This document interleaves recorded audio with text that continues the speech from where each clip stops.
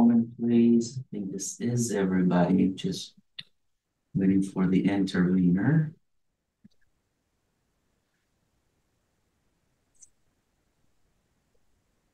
Okay.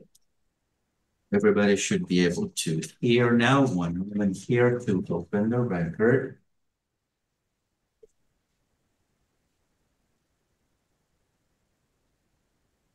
The 37th Circuit Court is now in session with the Honorable Brian K. Kirkham presiding. It is Tuesday, October 1st, 2024 at 8.47 a.m. for 2019-2687 DC for Cronkite versus Taylor Morgan and the interveners Jamie and Carlina Morgan, Attorney Reed for the plaintiff and Attorney Bartel for the defendant and the interveners. Okay. Good morning to everyone. I'll Good check morning, with Miss Morgan. I see she got up. I don't know if she's having any difficulties or or what. Miss Reed, are you able to hear us now? Yes, I just couldn't hear anything before. Okay, great. Looks like everybody can hear and everybody's here, as I was stating when we concluded on uh, September 19, 2024.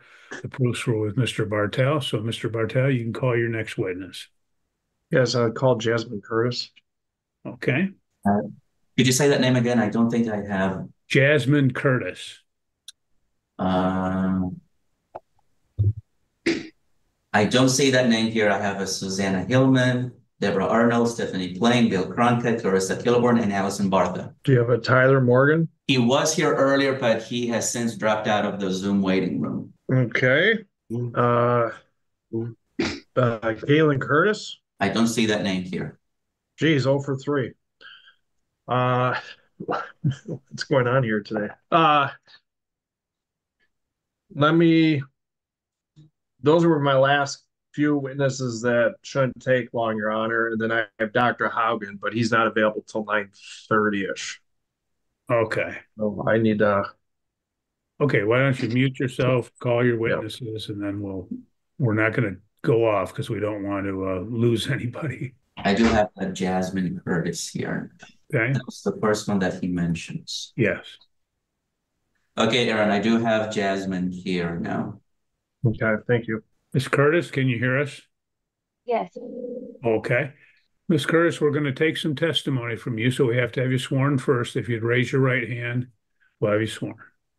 Do you solemnly swear or affirm the testimony you are about to give shall be the whole truth and nothing but the truth? I do. Okay, go ahead, Mr. Bartel. Thanks. Can you state your full name and spell your last for the record? Jasmine Camille Curtis, D-U-R-T-I-S.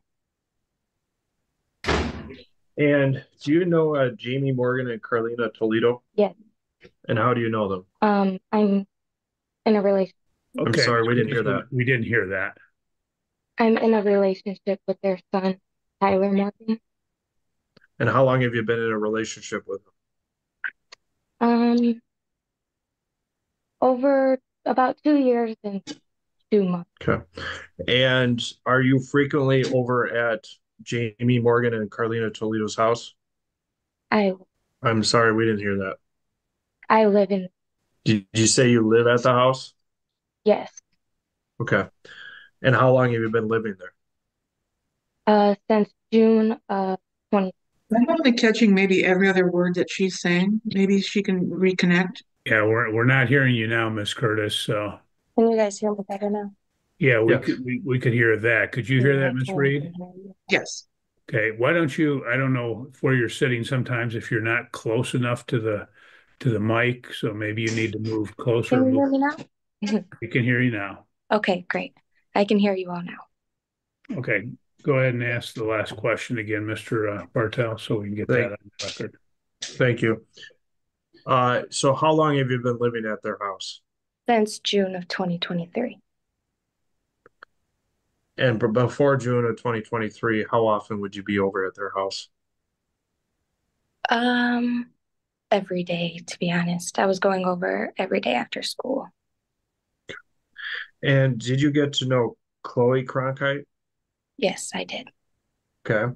And I guess could you explain uh, why you got to know Chloe Con- Cronkite? Um, well, Chloe is Tyler's niece, and Jamie and Carlina's granddaughter, and she would come over. So I would play with her. So I knew her. So when you said you know knew her because she would come over, how often would she come over? Chloe came over frequently. Okay. And when you say frequently, would it be on a weekly basis? Yes. Okay. Approximately how many days a week would she come over? Well, she would come over every Wednesday. And then sometimes we would keep her on Wednesday nights. So, and then sometimes we would keep her through the weekend. So sometimes two to four nights. On average per week? Yeah. And did you uh see her interaction, Chloe's interaction with Jamie Morgan and Carlina Toledo? Yes, I did. And how- and how would you describe that for the court? I would say Chloe was very affectionate and like clingy with them. She loved them. She they're their grandparents. Did you at any time see any abuse by Carlina or Jamie towards Chloe? I'm sorry, did you say abuse? Yes, abuse. No, never. And when I say abuse, physical or mental abuse, No, sir. okay. Was there ever any uh hesitation for Chloe to go to uh Jamie or Carlina? No. Could you just uh describe what a routine day would be like when Chloe was over with Carlina and Jamie? Like when we would, like when she would stay the night or when she would get dropped off. Let let's start when uh she would spend the night. Okay, so we'd wake up in the morning. Carlina would take us to breakfast. And then we would sometimes we'd go get our nails done, or we'd go to Full Blast, or we'd go shopping. And then we'd go home, clean. Me and Chloe would play with her Barbies in the bedroom. She'd watch videos on the phone. She'd go to stores with Carlina. And she'd take her baths, eat her dinner, go to bed, do it all over again. Would Carlina be intimately involved in making sure that she was properly bathed and her hygiene was good? Yes, sir. And was she involved with uh, cooking dinners and making sure she was fed properly? Yes, sir. Okay. And what about uh, her clothing? Were her clothing needs met by Carlina and Jamie? Oh, more than definitely. And when you say more than definitely, what do you mean by that? Oh, Chloe has so many clothes. And did she have um, toys over there? Oh, yes, so many. And what type of toys would she have over there? Well, she has Barbies, she has baby dolls. You like, you know, the mini brand toys. She has a bunch of those. Um, she has the Beanie Babies, a bunch of stuffed animals. She has books. And did Chloe have her own bedroom there? Yes. And that was her bedroom only? Yes. She still has her own bedroom. It's still there. It's not like it's gone. It's still waiting for her, you know. Okay. And could you describe the bedroom for the court? Well, we painted it all pink and it's pink and it's white and purple. She has a big old white bed with a nice bed frame. She has a white, it's like a whole bedroom outfit. She has the dresser with the big old mirror. She has her her big old dollhouse. She has her closet, which is full of clothes, and she has her bucket full of toys, and all her books and shoes are on the other side of the closet. She has a TV. Everything a kid could wish for, to be honest. And did she ever have pictures of anyone up in her bedroom? Yes, sir. Okay, and what pictures would she have up? She had pictures of her and her mother. Did there ever come a time that those pictures were taken down? Yeah, there was a time that they got taken down, but um, Chloe came when she came back over, she put them back up. So Do you recall, do you recall the reason why those pictures were taken down? yeah, Kelsey Yeah. said that we need. Well, sorry, sorry. Okay, yeah. Uh, let me ask you this. You were beginning to say Kelsey said, uh, did Kelsey, did you ever hear Kelsey say the reason to take pictures down? Yeah, she said that we needed. Well, sorry, sorry, sorry, sorry, sorry. Um, Well, just yes or no. Did you hear it from Kelsey? Yes. And when you say Kelsey, you mean Kelsey Cronkite? yes.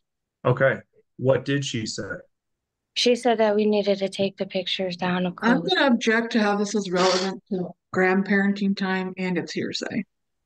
Well, look, with regards to hearsay, I had already confronted Miss Cronkite with regards to this, so it is impeachable, Your Honor. So that is an exception. With regards to the relevance, as I indicated with the case law out there, it is actually actually a lot of case law that suggests that the connection between the mother and the child in this particular situation, it is highly relevant, especially if we're talking about the connection that is maintained or not maintained by plaintiff. Okay, any response, Ms. Reed? I still don't see how pictures being taken down and put back up is relevant to the grandparenting time claim when the case law that Mr. Bartel cited, the parents were deceased and the mother in this case is not deceased. All she has to do for a connection is pick up the phone. Well, with regards to Your Honor, if I could respond, is it, Yeah. it was deceased and and the professional that unfortunately counsel omitted said deceased, but the testimony was deceased or the parent is gone for a period of time. So that is why it's relevant. And that's not the only case that's out there. I just cited the public published case. Okay, well, obviously, uh, as Mr. Bartel stated, it's for impeachment purposes and, uh, and obviously for others that are relevant, the court is going to overrule the objection. Uh, Ms. Curtis, I guess I'll ask it again. What did specifically Ms. Cronkite, the best you recall, stated regarding the pictures? That they were that she didn't like them and that they were upsetting and that Chloe um they were making Chloe sad. Yeah. Let me ask you this. Did you ever get the impression that those pictures were making Chloe sad? No, I didn't. Okay. And let me back up. You had talked about a general day when you guys would wake up. Uh, let me ask you, what was a general day when she would either be dropped off or you guys would pick her up? Wednesdays.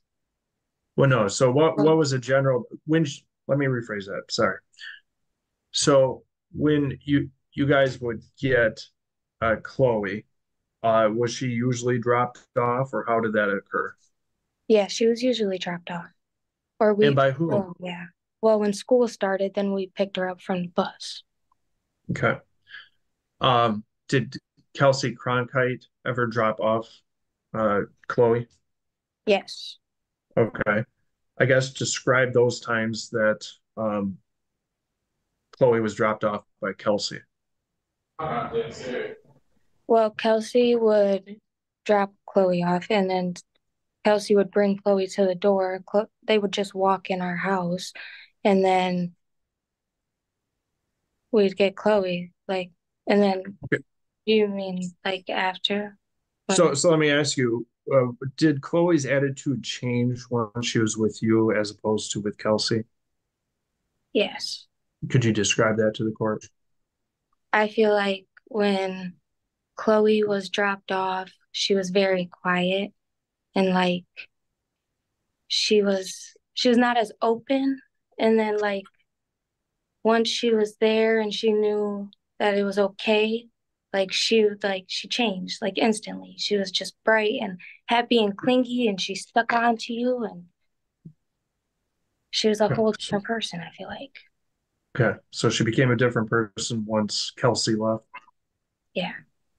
Could you describe uh, how Chloe would act when Kelsey would come pick her up? Uh, she would she would cry. She would get upset. She would scream. And then Carlina and Jamie would be like, "Come on, honey, let's go. You gotta go home. You know you're gonna come back soon. It's okay." And you know, she would cheer up, but like she would be quiet when she left. She wasn't the same as what she was even when she was just 10 minutes ago, you know?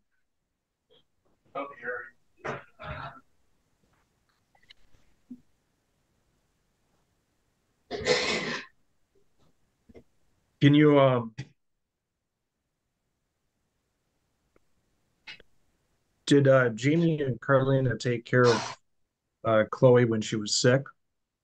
Yes. Were there any times when they had to either uh, specifically get Chloe because she was sick? Yes, I specifically remember one time when she had um strep throat. Could you describe that? What happened?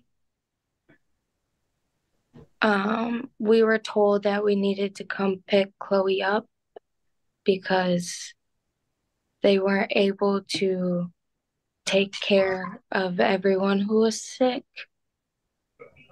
So we needed to come and take Chloe so that we could take care of her, basically. So how many then- days did you take care of Chloe? Or did, did everyone help take care of Chloe? I'm sorry, can you repeat that? Yeah, so how, how many days did Carlina and Jamie have to take care of Chloe? Well, when she had that strep throat, I'm sh I'm pretty sure it was three to four days because I remember them saying that the 72 mark was up, so that she was fine. And do you recall what uh what the grandparents did to take care of Chloe with strep throat? Yeah, she had chicken noodle soup, Sprite, and all her um medicines. And who provided those medicines, if you know? Carolina.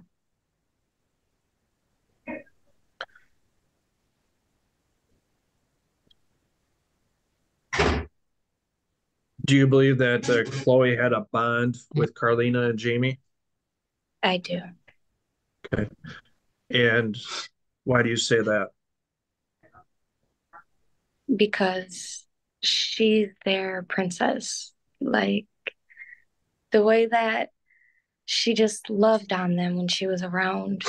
Like when I mean she literally clung onto them, I mean like she would sit on their lap and wrap her arms around their neck and just tell them how much she loves them. You know, like she was so affectionate with them.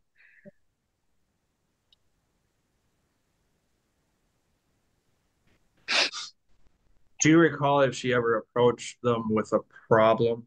I guess, to- and don't don't say any hearsay as to what she said, but do you recall her ever going to them with a problem that she had or an issue?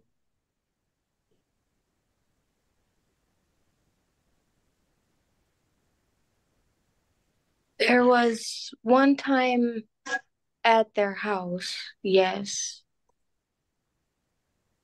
when we picked her up from Well- the bus. Okay, let, let me back up. I mean, would she go to Carlina or Jamie if she if there was an issue going on? Oh. Yes, every time. Okay. Okay. She she didn't appear to have any fear going to them if there was an issue going on. No, sir.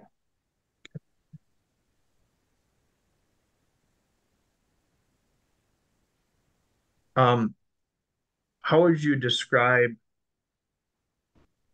whether or not Jamie and Carlina could put their her needs before their own?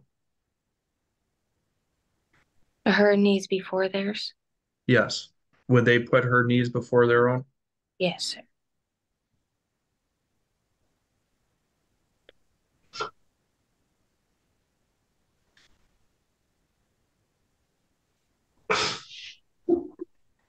And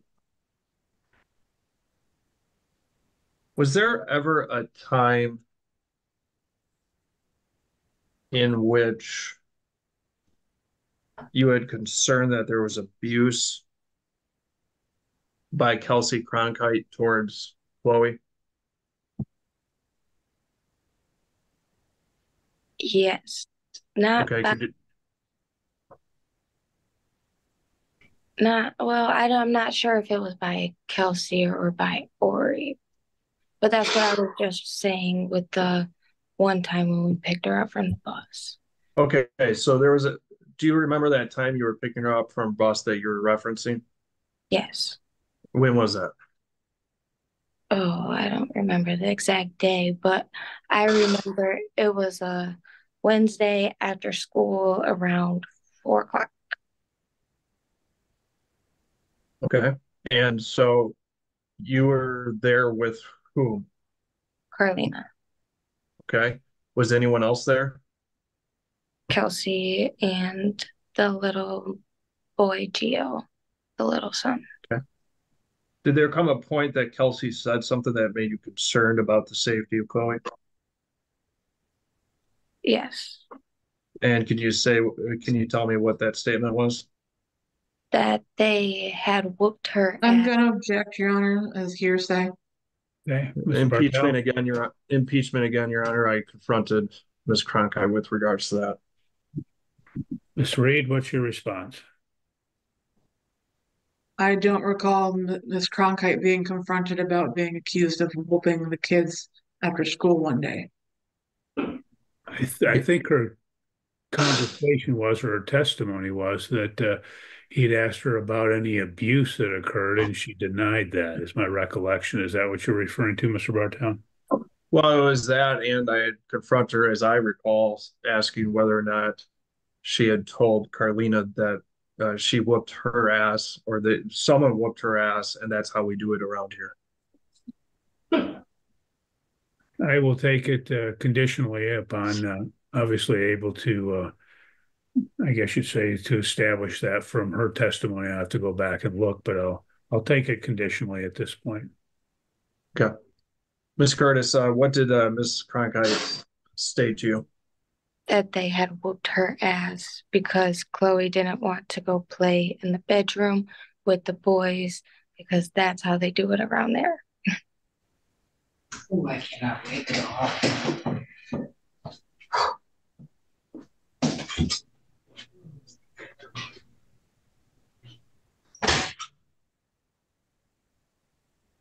And um, is there, have you seen any uh, drug use or or the such with regards to Jamie or Carlina Toledo? No, Are you aware of any mental or physical health problems that they have that would preclude them from taking care of their granddaughter? no, sir, I'm not. Did you ever witness any hostility by Jamie or Carlina towards Ori Cronkite? No, sir.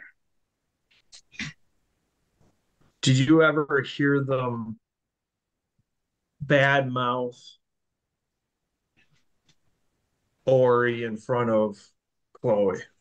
No, sir. I've truly never heard them badmouth Ori until all of this has happened. And so that was never in front of the minor child? Never at all in general. Oh, okay. And did you ever hear either of them tell Chloe that Ori is not her father? No, sir, I have not. Was there ever, through statements or any other action by Jamie or Carlina that showed they were trying to destroy or alter the relationship between Chloe and Ori? No, sir.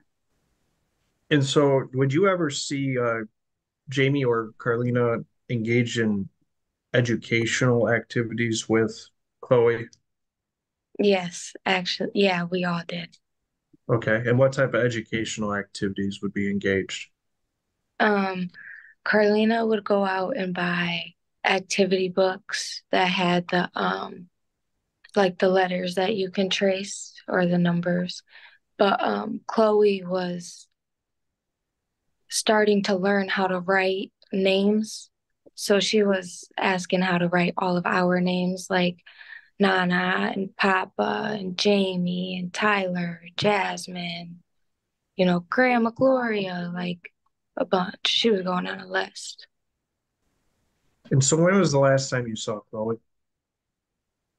The last time I saw Chloe was in December. Of twenty twenty-three? Yes, the beginning of December 2023. Let me ask, so was there any indication from Chloe that she was in fear of Jamie or Carlina the last No. time that she saw them? Oh, no, sir.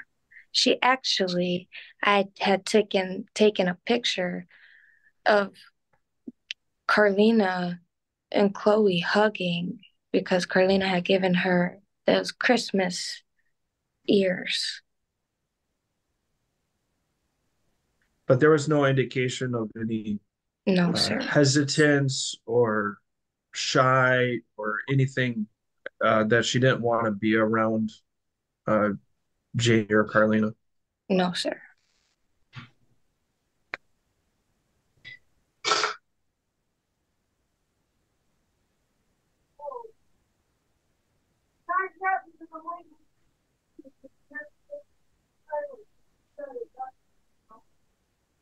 Uh, no further questions, Your Honor. Okay. Ms. Reed, any cross-examination? Just briefly, Miss Curtis, you said that you had not heard um, the grandparents badmouth Ari until all of this happened. Is that correct? Yes, ma'am. So they have been badmouthing Ori since then? I'm sorry, what? So first it was you have not heard them badmouth Ori until all of this happened. Correct, since we stopped seeing Chloe. And have they been making disparaging comments about Ori since you stopped seeing Chloe?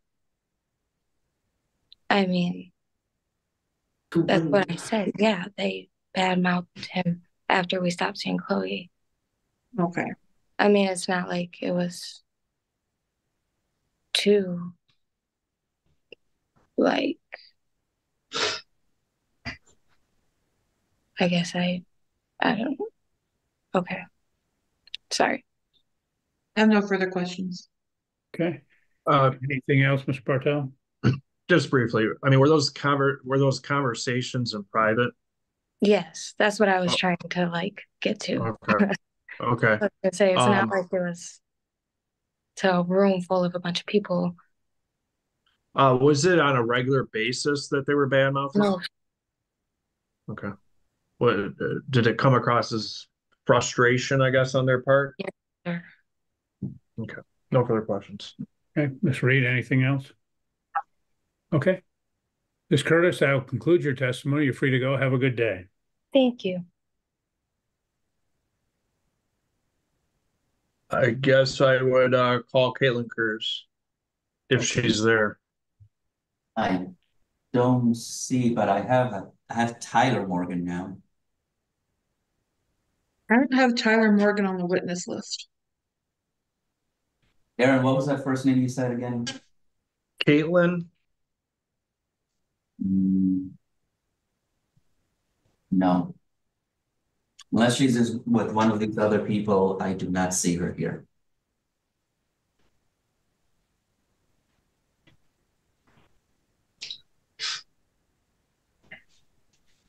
okay, um.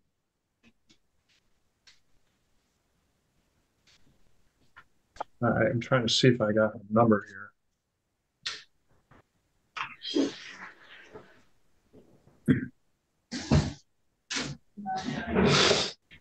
Let me tell you the names I have. I have um, Allison Bartha, Clarissa Kilborn, Bill Cronkite, Deborah Arno, Susanna Gilman, Tyler Morgan, and Stephanie Plain.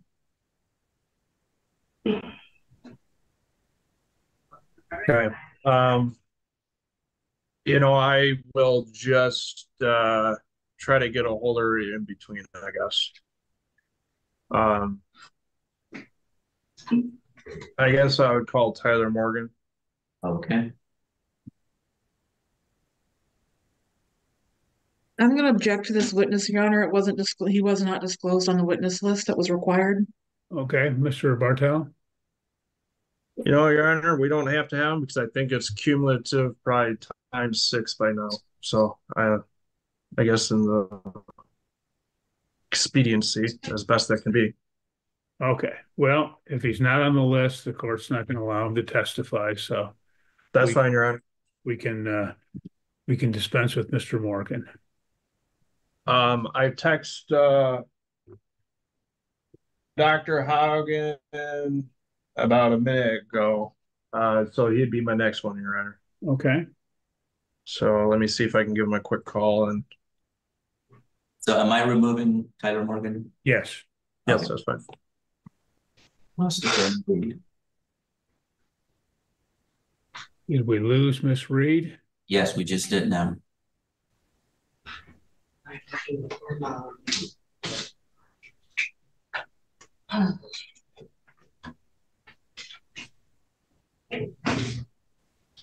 I apologize. Everyone froze and then it looked like Zoom crashed. Okay, well, you were, you were the only one that we lost, so it was obviously your, your unit. I just talked to Dr. Haugen. He said he was in. Let me see, this might be. This might be him, let's see.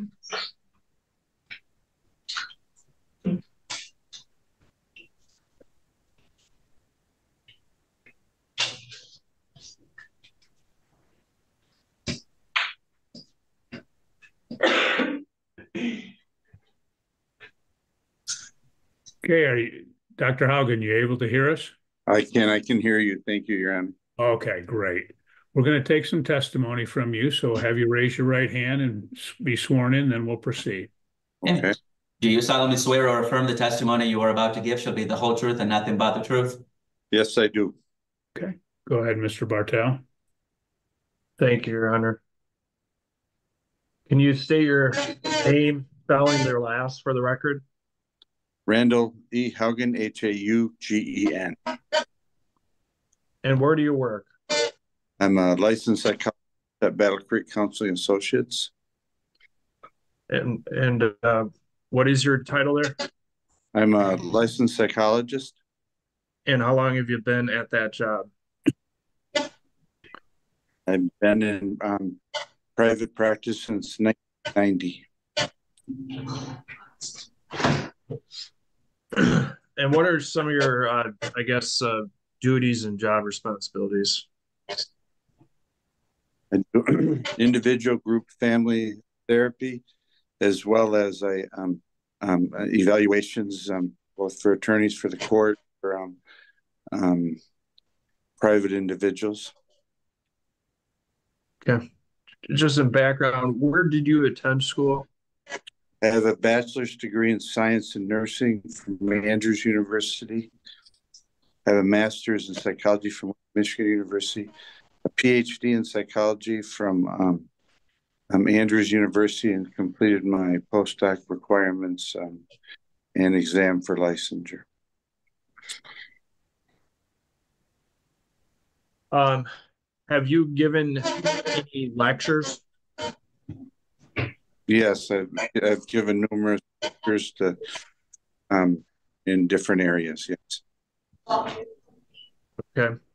Um, and do you have, uh, do you specialize in any particular field? Um, I specialize in um, psychological evaluations, um, different areas like um, um, I do a lot of um, work with abuse and neglect, trauma, and um, um, evaluations for the court related to competency, criminal responsibility, phase two waiver evals, and others. Do you ever deal with, I guess, the relationship between, uh, grandparents and grandchildren? Yes. Okay, and I mean, has that been I guess how often have you done that? Um, hundreds of times uh, over the years. Have you been ever qualified as an expert Yes, and um in what particular courts have you been qualified as an expert? um, eleven courts in Michigan. Does that include Calhoun County Yes. Yes, and including and including before this particular court? yes, And have you been qualified as an expert in family relationships or I could you describe that, I guess? yes. I've been um, qualified in the area of abuse and neglect, psychology in general, um, children, adults. Um, I've been qualified with um, violent offenders, sex offenders. Yeah, I mean, I forgot to ask you, do you have board certifications? Yes, I'm a licensed psychologist. Yes, And remind me, how many years has that been? I've been um, in various forms since 1990. And in this particular matter, um, you you haven't uh seen the particular child, uh, Chloe Cronkite, correct? No, not to my knowledge. Okay. And uh, you have been asked to come in and uh, give some testimony uh, based upon your experience as a psychologist in the family arena. Is that correct? That's what I understood. Yes. And, and Your Honor, I guess I would I would move to the mission of Dr. Haugen as an expert in the family, including dynamics between grandparents, children, um, in this particular matter. Okay, Miss Reed, anything? Any voir dire you have? I do. Um, Dr. Haugen, can you hear me? Yes, I can. Thank you. Um, have you ever been qualified as an expert witness in a case about grandparenting time?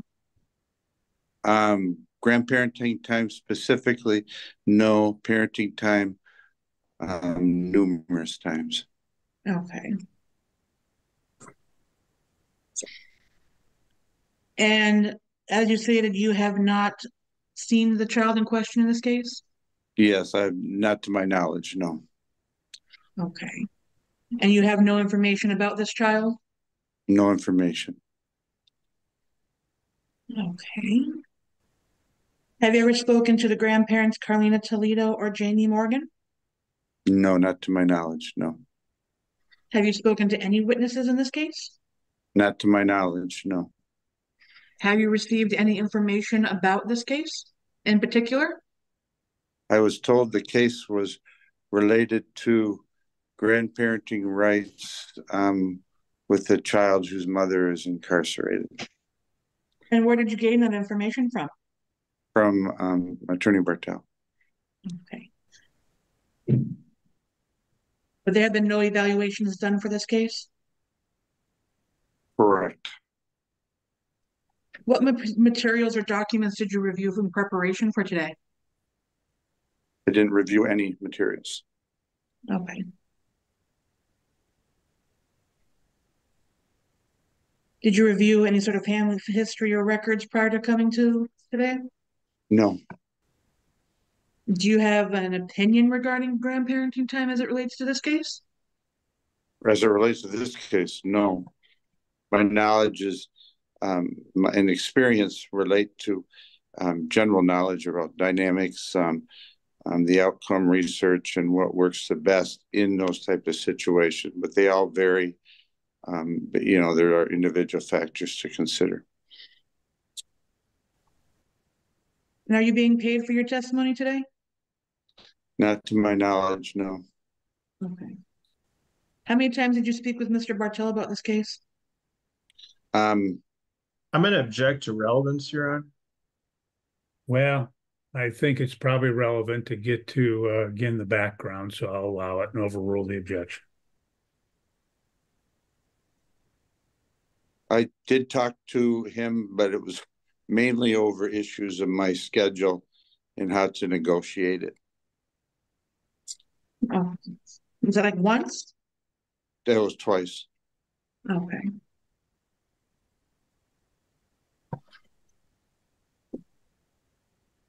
I have no further questions for um Miss Dr. Haugen, but I would object to him being qualified as an expert witness as he does not meet the qualifications under MRE seven oh two.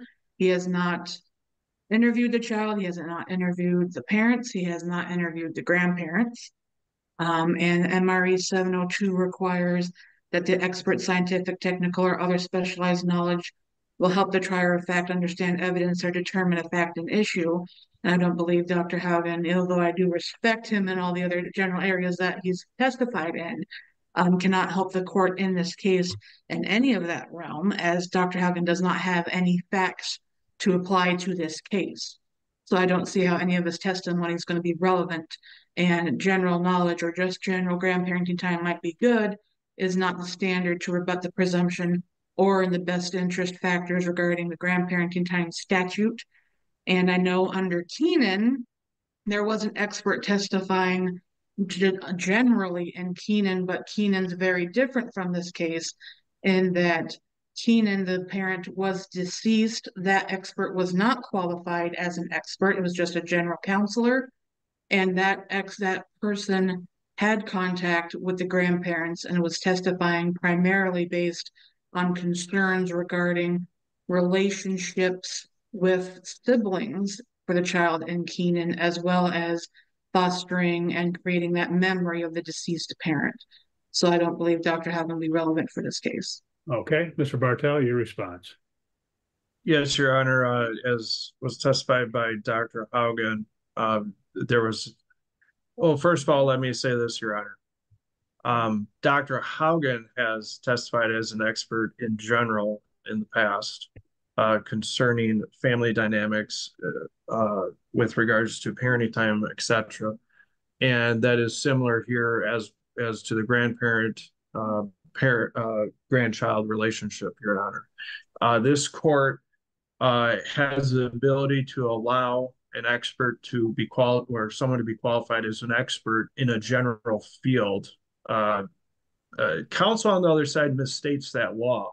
It, they do not have to have interviews with people that can give this court and aid this court in understanding the dynamics uh, generally out there uh, with respect to uh, whether it's parenting time and family dynamics, which Dr. Haugen has the plethora of experience, over 30 years of experience. He has the ability to help this court aid in, in those dynamics. He has uh, indicated that he has read literature with regards to this. He has uh, clinical experience in this area. And like I said, he can give the aid to the court as to general issues uh, that are out there. With regards to Keenan, Your Honor, uh, counsel needs to stop saying that it's just when a parent passes. That, and it's in the opinion. Uh, the psychologist testified, and this is word for word, about harms that a young child can suffer when a parent dies or or is not around. And that part of the family is, quote, cut off from the child. Trial court concluded that the other parent's decision to deny child time with deceased mother's parents would cause substantial harm to the child, given substantial likelihood that minor child will have an inability to remember the mother. And that's not the only case out there. There's other cases that deal with not just the death, but the mission of expert testimony as to general uh, testimony about harms that can occur, Your Honor. And this court is smart enough to make those reasonable inferences with regards to that. So I would ask for the him be qualified as an expert. Okay. Any response, Ms. Reed? Yes, Your Honor. The court rule is very direct of the knowledge and skill of the trier of fact to understand the evidence and determine a fact at issue. I don't believe that that is the case with Dr. Haugen's testimony and testimony in D in MRE 702. The expert's opinion reflects reliable application of the principles and methods to the facts of this case. Dr. Haugen says he doesn't have an opinion about this case. He doesn't have the facts of this case. And so he's not qualified as an expert witness. And I don't believe any of his testimony is relevant. Well, Okay, in this particular matter, obviously, the issue is, uh, is this is a Daubert, uh, challenge in the court, uh, in these particular cases is obviously the gatekeeper and Daubert was decided back in nineteen ninety-four. And, uh, that pursuant to the, uh, Michigan legislature enactment of, again, six hundred point twenty-nine fifty-five back in nineteen ninety-five, uh, in the greenhouse, in response to greenhouse and roads. Uh, basically, they attempted, it was an attempt to uh, codify Daubert in Michigan. And uh, that, in fact, occurred back in 2003 when Suri- Supreme Court amended MRE 2702. And basically, they said to explicitly incorporate Daubert's standard of reliability. Obviously, Daubert attempted to incorporate Frye, and as a general accepted, that was changed, obviously, and uh, with the uh, amendment of MRE two or excuse me seven oh two. It was revised to require that an expert be based on sufficient facts or data, be the product of reliable principles and methods, and be the product of reliable uh, apply uh, reliably applying the principles and methods to the fact of the case. Um, in this uh, particular matter, when the court does that in this particular matter, the the parties have cited to the Keenan case, uh, 2007 case.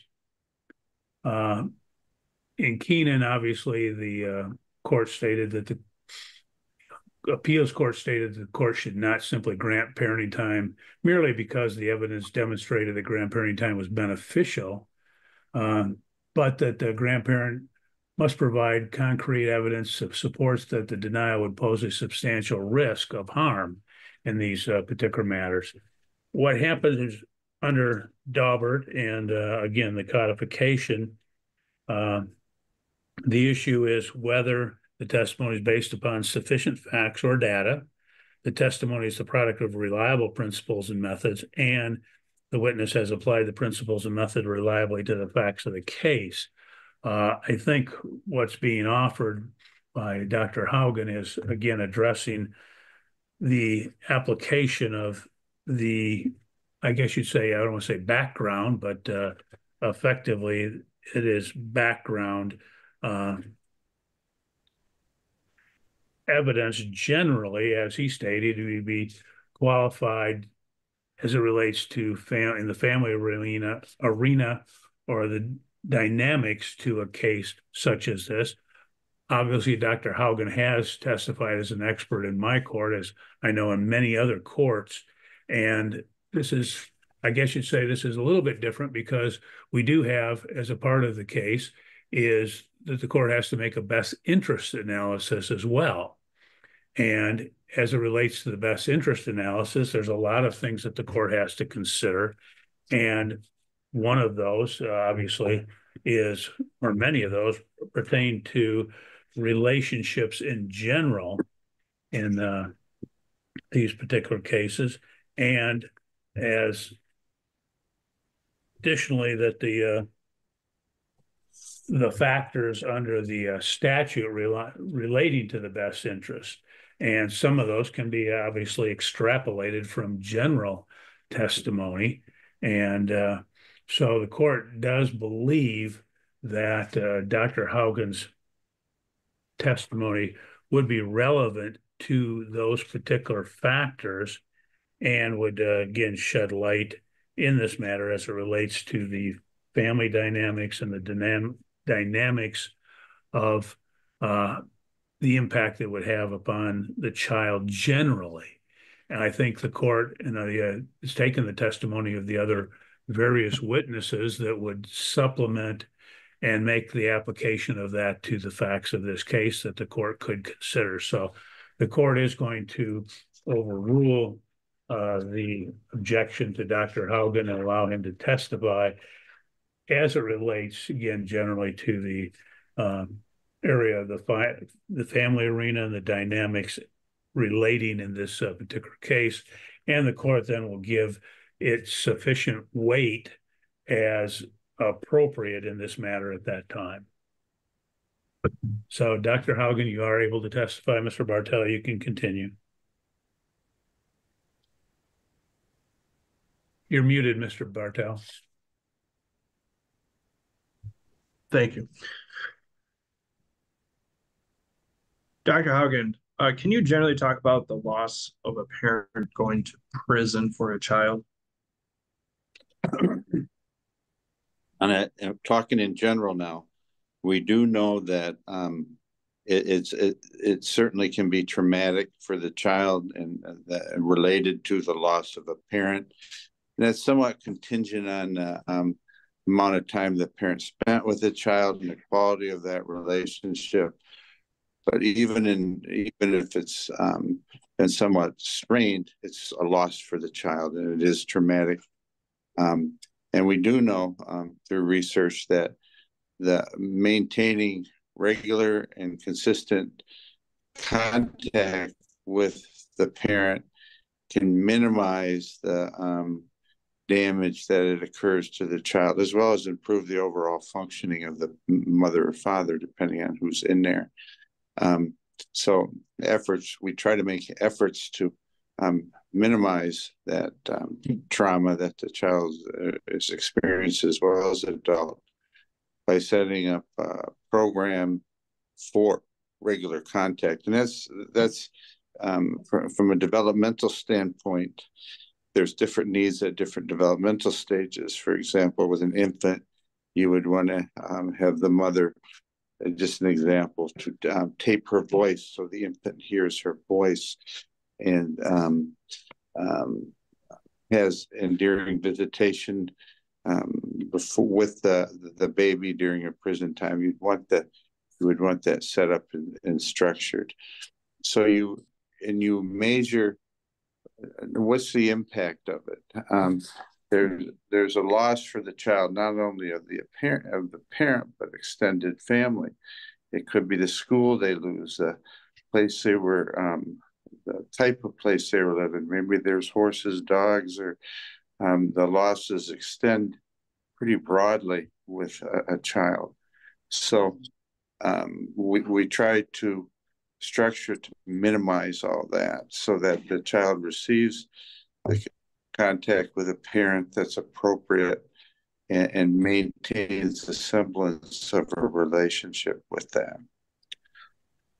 Have you dealt with the situations where one of the parents was incarcerated and yeah. the dynamic? Yes, numerous times. Yes. Okay. And what kind of uh, plan generally do you try to set up for the maintaining that contact? Um, letters. We have letters that um, that they share back and forth, and eventually, I found that uh, the contact becomes more deep, and they're usually um, at first superficial, and later on they become more deep. Like, what did you do? What happened? Why did you do that? Um, we have we'll structure visitation so that they they go there. Um, we have the depending on the age of the child, we'll have them draw pictures, send schoolwork, and send it to the parent so the parent can respond. Um, that we um, we uh, help them establish a narrative, um, including uh, uh, if they have good relationships with uncles, aunts, or anybody in the family. We try to maintain that so they can um, they can maintain um, a uh, internalization of that parent as um, uh, um, in, in a more positive way. So if that doesn't happen, and I know we're talking about in general, but if that doesn't happen, maintaining that contact, including the extended family, as I hear, uh, what could happen? Uh, what in your experience in the literature? What yeah, what ha has happened to me directly is that it's harder for the child to reattach to the um, to the um, parent who's incarcerated and their family.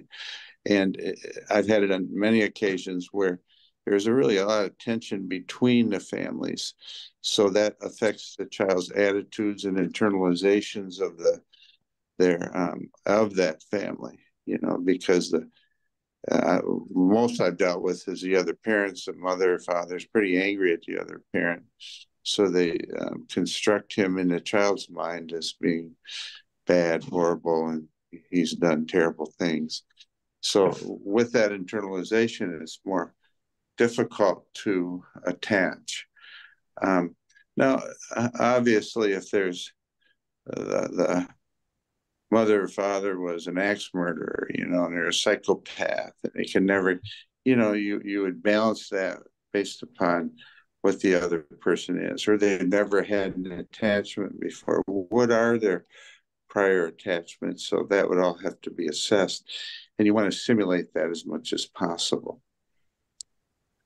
So let me let me flash something out that I think I heard. You had indicated the tension between the family members and internalization of the child. Are you saying that if a child is with one particular parent and there is tension and stuff going on, there's a chance of the that minor child internalizing all that and having a negative view towards the other parent or family? Correct. Which Okay. often, unfortunately. Say that again. I'm sorry, you cut out for me. Which which happens often, unfortunately, because there's always a previous a lot of um, tension in that relationship, and it kind of carries on through.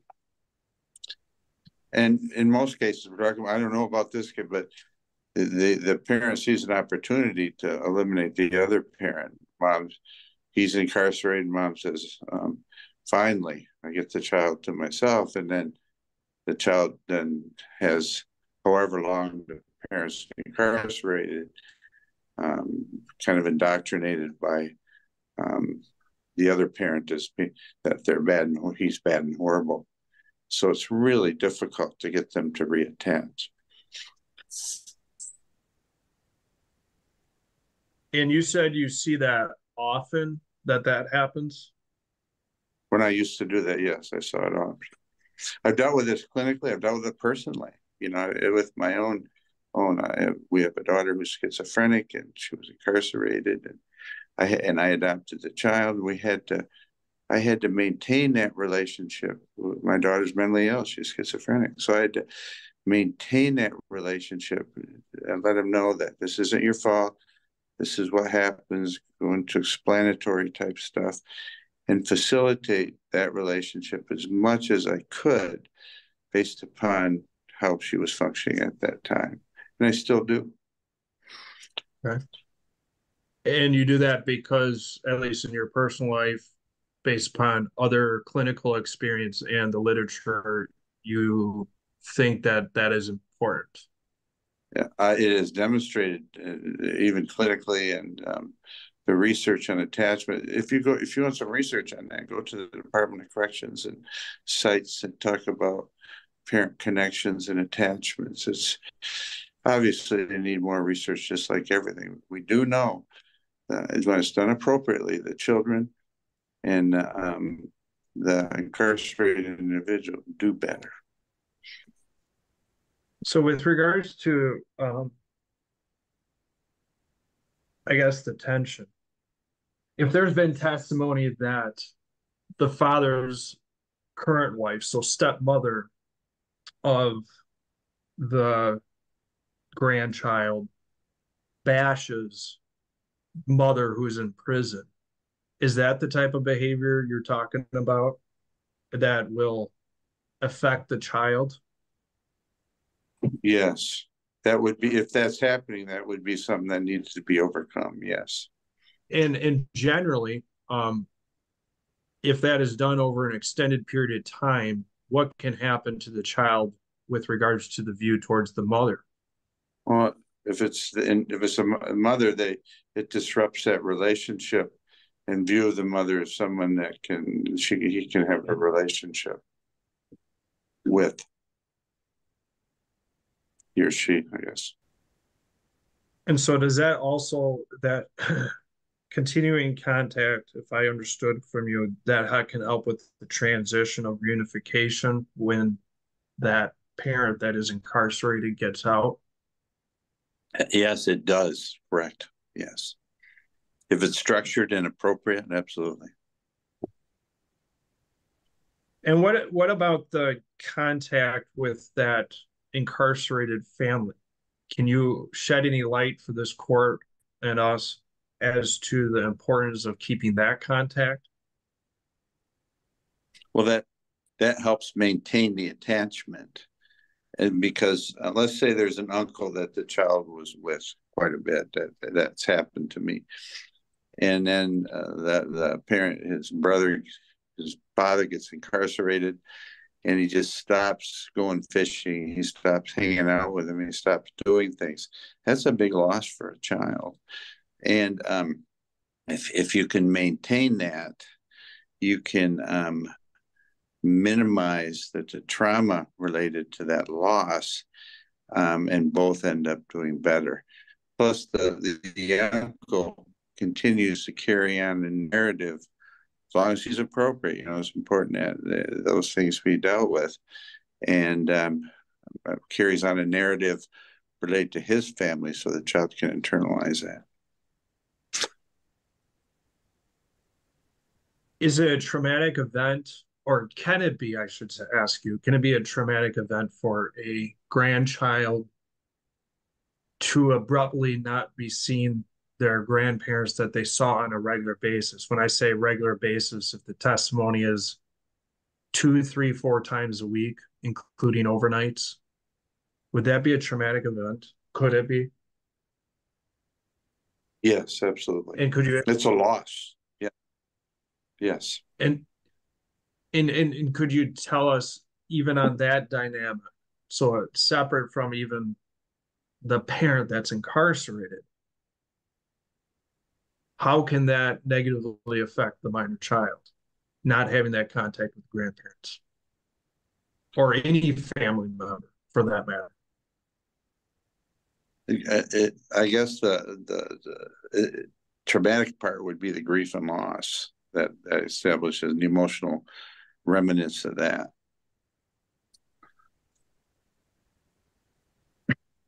Is it different for someone that maybe let's say an older child like 16 years old as opposed to a younger child that's five or six where there's a abrupt change in that connection or visitation with that extended family? Well the each child is different based upon their attitudes their temperament and their background and their experience with it um, the only advantage to a like a 16 year old is that their developmental task is to individuate and become uh, separate you know that's why you get the rebelliousness. So and, and an older child has the ability to process it more and put it into words and construct meaning where the younger child needs more help in um, in um, developing that. So developing, is that to suggest that well, go ahead. Developing meaning of what occurred, right? Not that the 16 year old does, but um, language skills for 16 year olds generally higher. Um, their ability to conceptualize ab abstract thinking is higher, which makes it easier. Can it be more confusing for a younger child at, at the age of five or six as opposed to an older one if there's that abrupt change? It can be, yes. And that's because they're at a different developmental stage that they may not fully comprehend what's going on. That's correct, yes.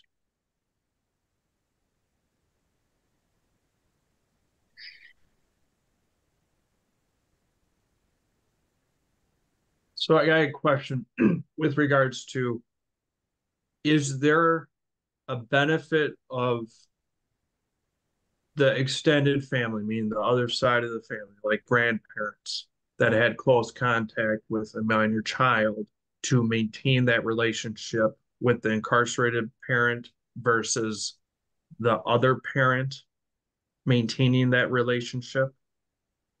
Yes. And There's a benefit benefit in terms of minimizing the traumatic impact both on a short term and long term basis And if the child's going to, um, um, if the child is going to have continued contact, um, that, that's particularly important. And I don't, I don't know the details of the case or if the parent has twenty years in, to serve, that's different than three years, you know? Because in three years, you gotta prepare to reunify. Twenty years, it's different. Um, and, uh, the situations are different. So if in this particular case, the mother was gonna be out, let's say within even three or four years, you're saying that would be a ben- an extreme benefit to have that connection still with the child? Yeah, if, if the plan is eventually for the mother to, um, reunify with the child to some degree, it certainly would be beneficial. And let me circle back. I guess maybe my question wasn't as good. Is is there like an actual additional benefit to ensure that that child has that connection with the incarcerated parent by being with the extended family over the actual parent that is not incarcerated? If that, um, if that individual from the family had a prior attachment and relationship, you, uh, it, would, it, and they're appropriate, of course, it would, um, it would be, um, uh, uh, um, something that helps prevent and minimize the trauma that the child experiences. So that that extended family can ensure that they maintain that relationship for the minor child. The minor child would the minor child feel more comfortable on that side of the family with that connection? They would experience less of a sense of loss.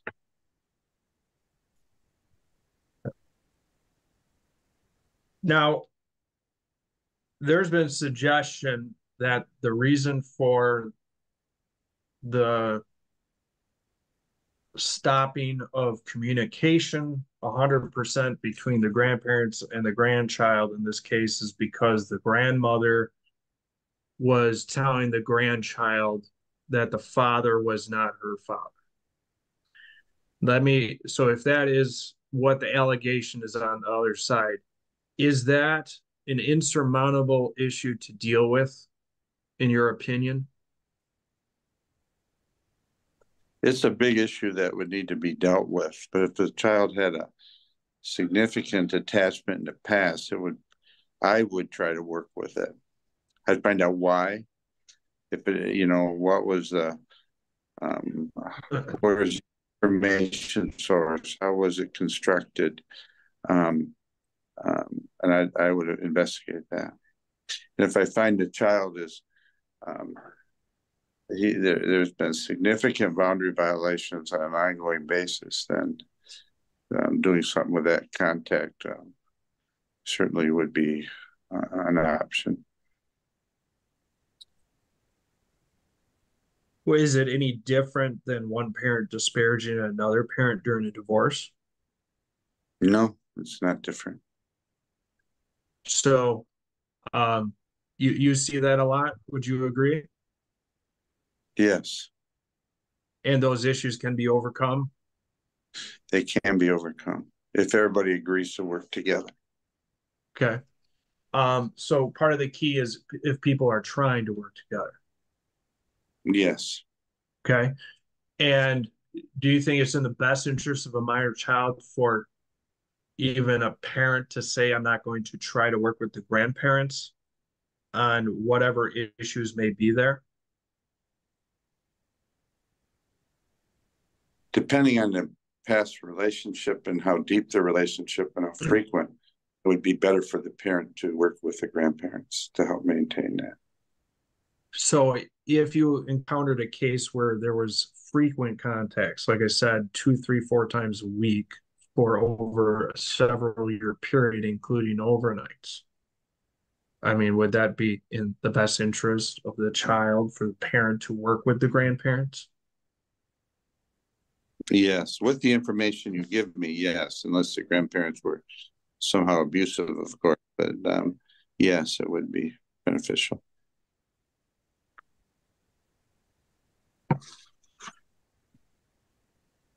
I guess I want to, I, I guess I want to ask your, ask you about the ability of a five or six year old to conceptualize time. Have you dealt with that in the past?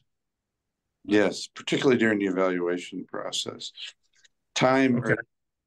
uh, um, time or what we call temporal sequencing doesn't occur till a child's a little older, maybe not in terms of that. And uh, I'm sorry, you broke out, Dr. Haugen. What age? Um, um, depending on the child, their developmental level, their level of intelligence, it's usually around eight, nine, and 10 where they can begin to get a concept of time where last week means something. Okay. And so if a child said something happened on a particular day of the week and it happened three, four months ago, would that give you concern if they were five or six years old? Uh, just to clarify, they're saying um, if the child tells me a few months ago something happened on a Tuesday, it would be um, it would be subject to evaluation. Yes, uh, it would be rare that a child could do that. And why is that? Their the temporal sequencing isn't very well developed. Is there some, so what process would you go through if a child five years old comes to you and gives you some, something happened on a Tuesday months ago? What what process would I do in the interview? Yeah, I mean, how would you address that? I mean, if I understand that would be of some concern because there is the temporal sequencing is not there Yeah. at that age. So how would you, if, if they were making an allegation of something happening on a Tuesday months ago, how would you deal with that? From a clinical standpoint, I would I would ask more about it. Say it was Tuesday. How do you uh, um, how do we know, know it's Tuesday? What did you do on Wednesday? You know how how do you know it's Tuesday? Then I would um I would uh, look for details related to that, and I would also talk to the parents, um, um, talk to what was going on that day. You know, and um, I would seek more collateral information related to it. And so is it fair to say you would investigate that more and not just rely on the child? Correct. For, for that type of information, yeah. It would be more reasonable if the child said during Christmas time, everybody got in a big fight and it ruined my Christmas. So yeah, they could do that, but to come up with an arbitrary date and time for a five-year-old, I, I can, I'm not sure I could do that. You know, what, what did I do three months ago on a Tuesday? I don't know. So, um, it would be subject to um, more inquiry. Are children at the age of five and six more, more impressionable than older children? Yeah, they can be, uh, yes, they- yes. Depending on the child, but from a, a general developmental level, yes, they're more impressionable. And so if certain things are happening at home, they're being told certain things. Um, such as mother is a bad person or mother's gonna be in prison forever, things like that. Generally, how do children internalize that? Well, it, it um, they would internalize the other parent negatively. And that they could be bad, they may feel guilt about it, you know. Um, even at that age, children feel guilt about it and they, then they grieve and they feel sad, they, um, and they need permission to feel sad and grieve.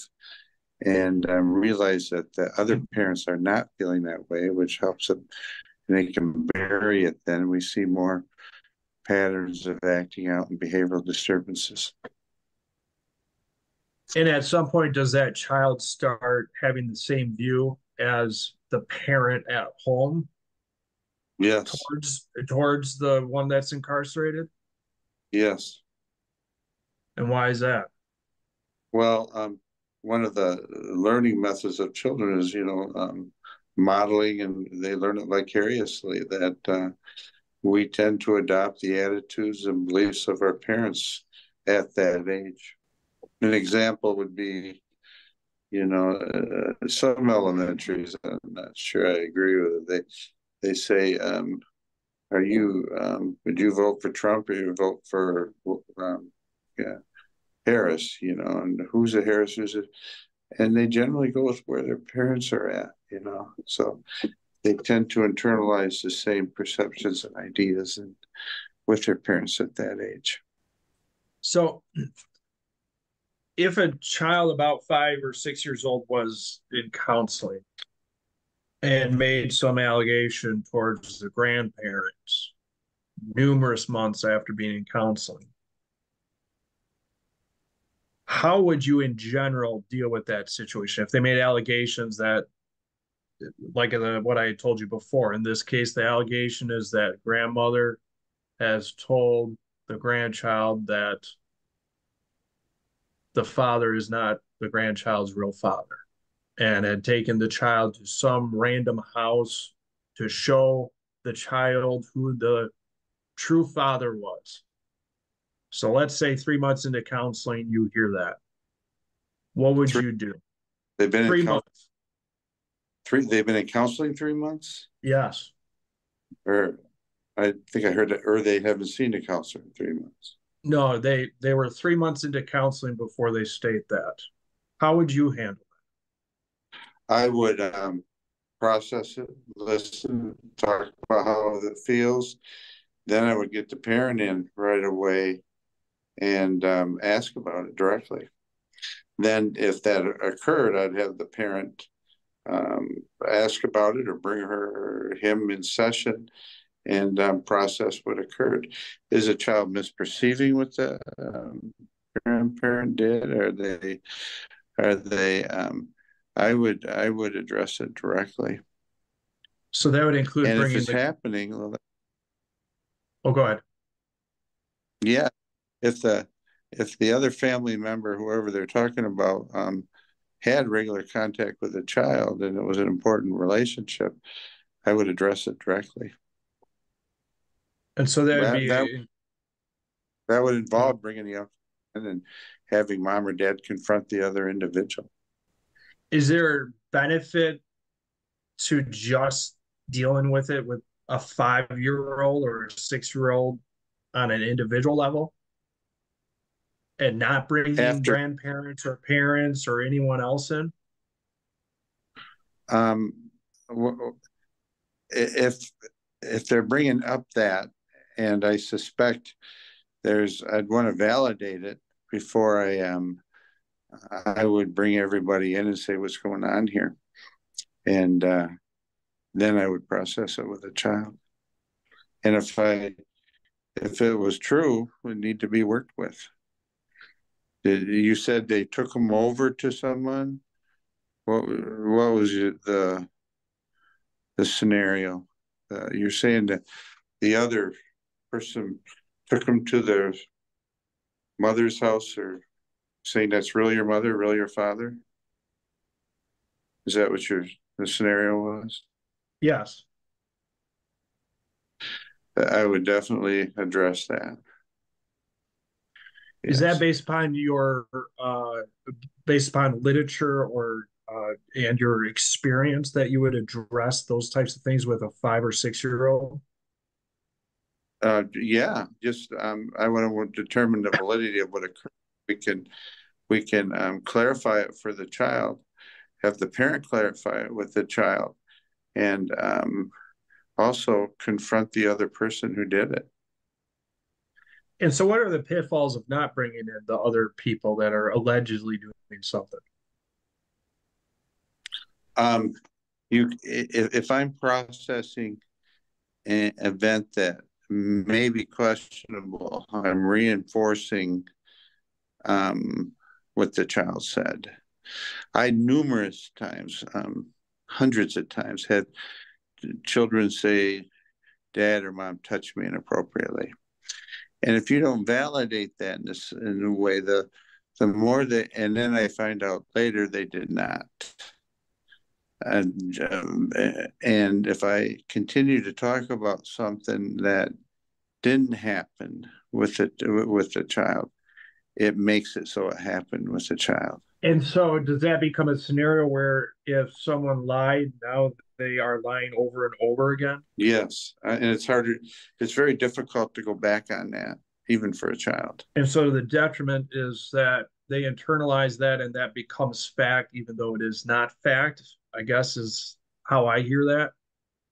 Correct. It can happen like that, or they just can't go back and lie because it's that would be too shameful. Can there be substantial harm caused to a child? I, I just kind of want to wrap this up as I understand. Can there be substantial harm to a child when they do not have contact anymore with a family member or anyone, I guess, that they had substantial contact with before. Yes, there can be harm to the child.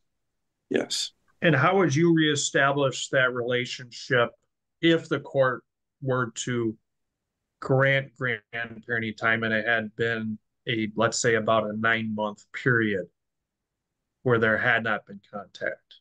How would you, uh, how would you reestablish that contact? Would it be some kind of graduated time, like with parent to parent, or how would you do that?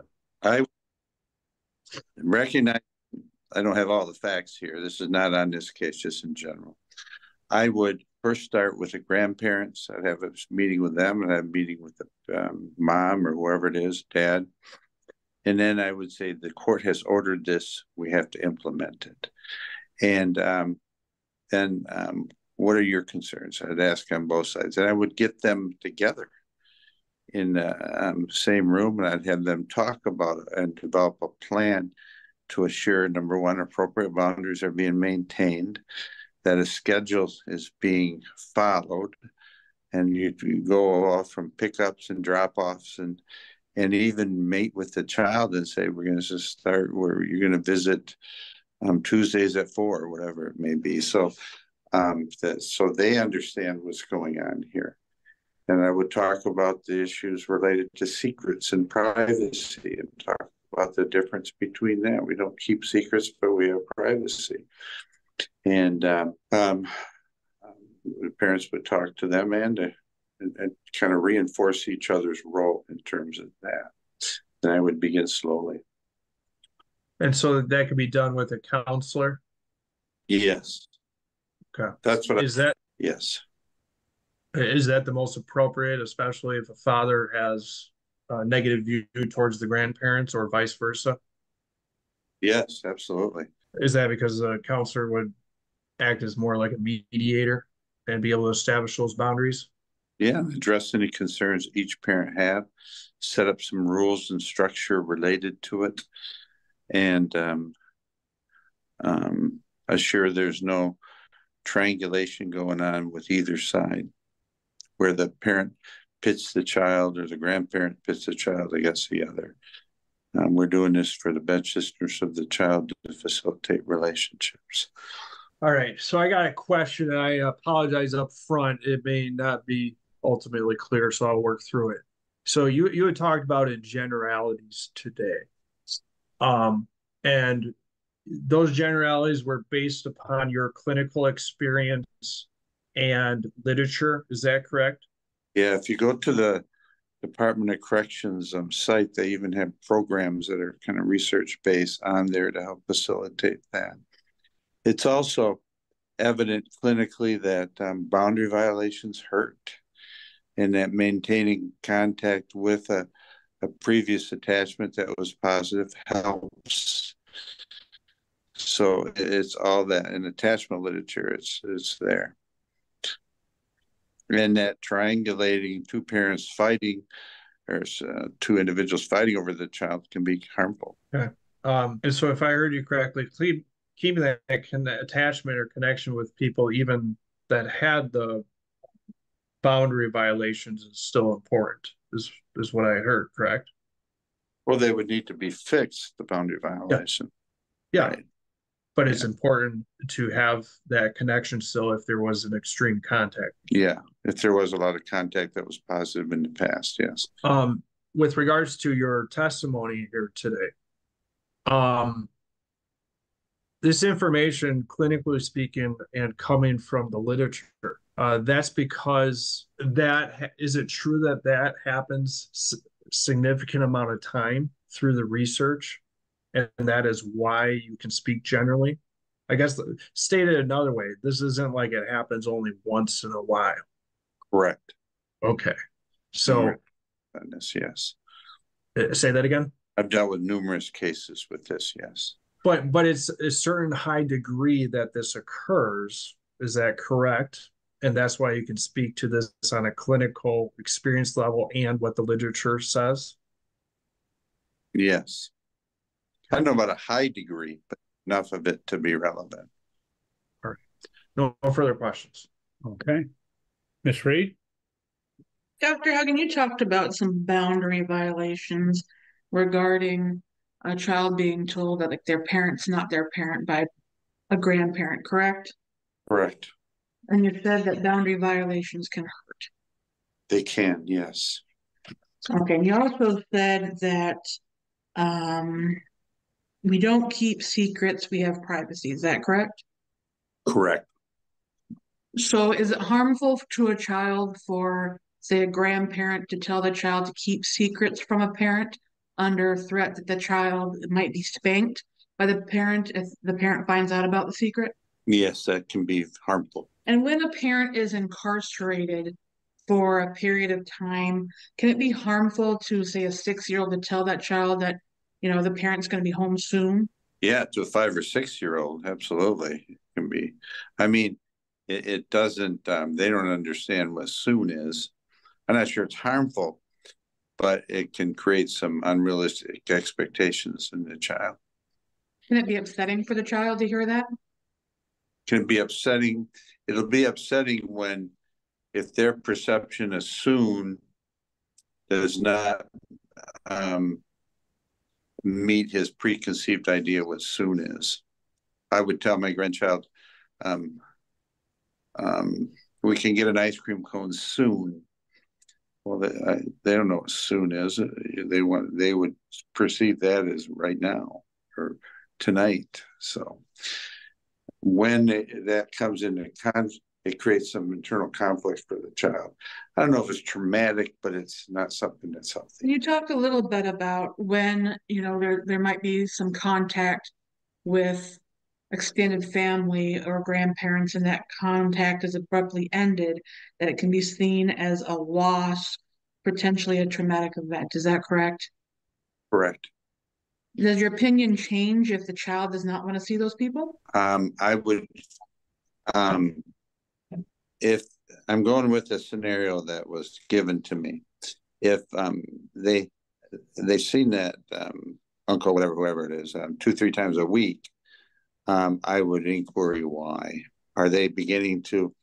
My hypotheses would be they just had a bad relationship. They didn't want to go there in the first place.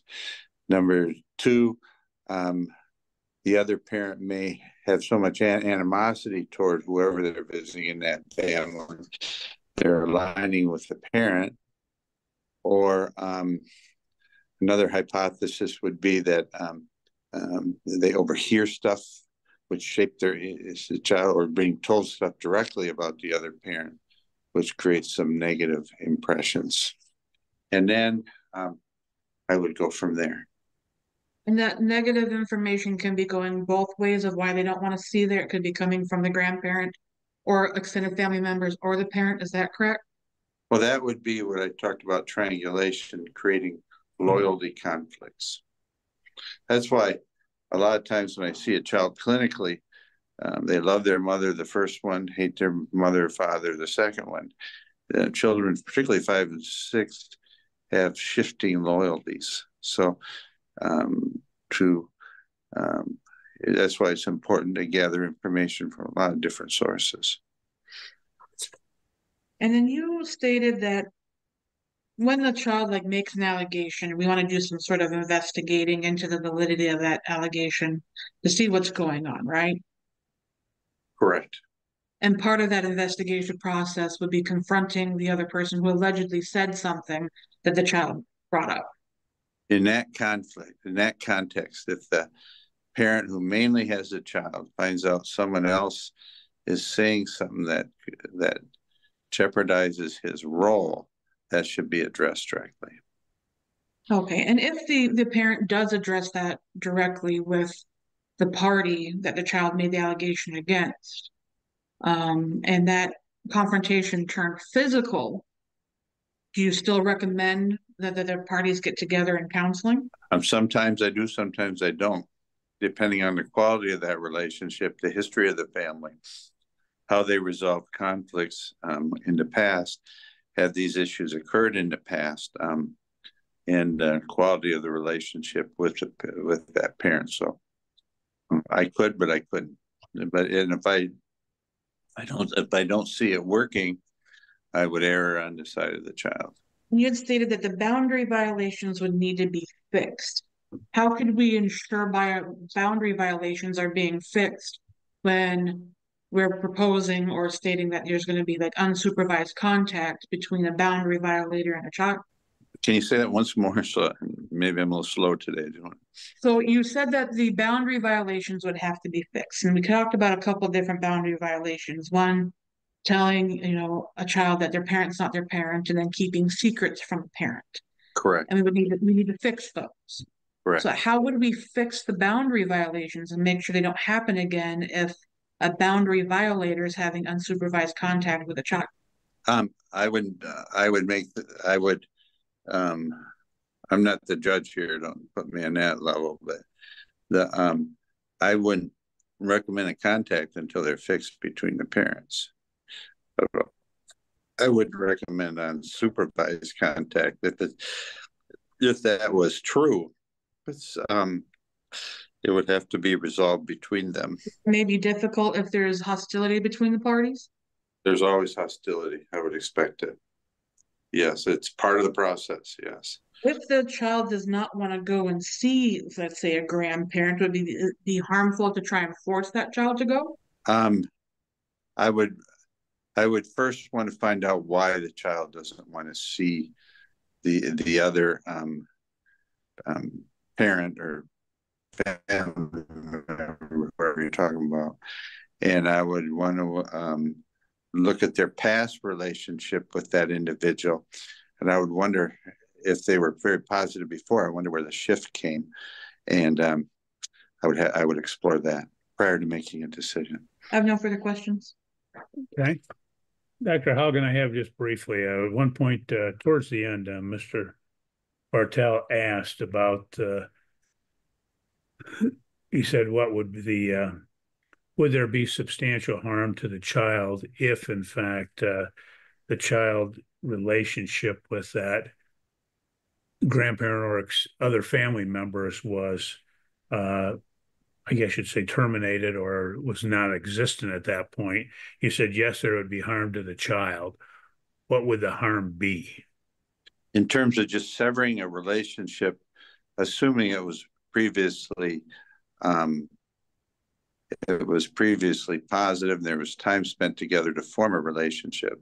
A disruption in attachment would create a significant um, grief process, sadness, um, um, um uh, confusion, um, unhappiness, and uh, um, so the traumatic response would be um, a grief response, and it could be a fear. You know, what did I do wrong?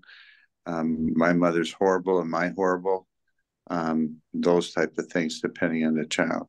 It doesn't doesn't have to all the time, but with most that I've experienced and many other children, it does. Okay, thank you. Uh, Mr. Bartel, any uh, redirect?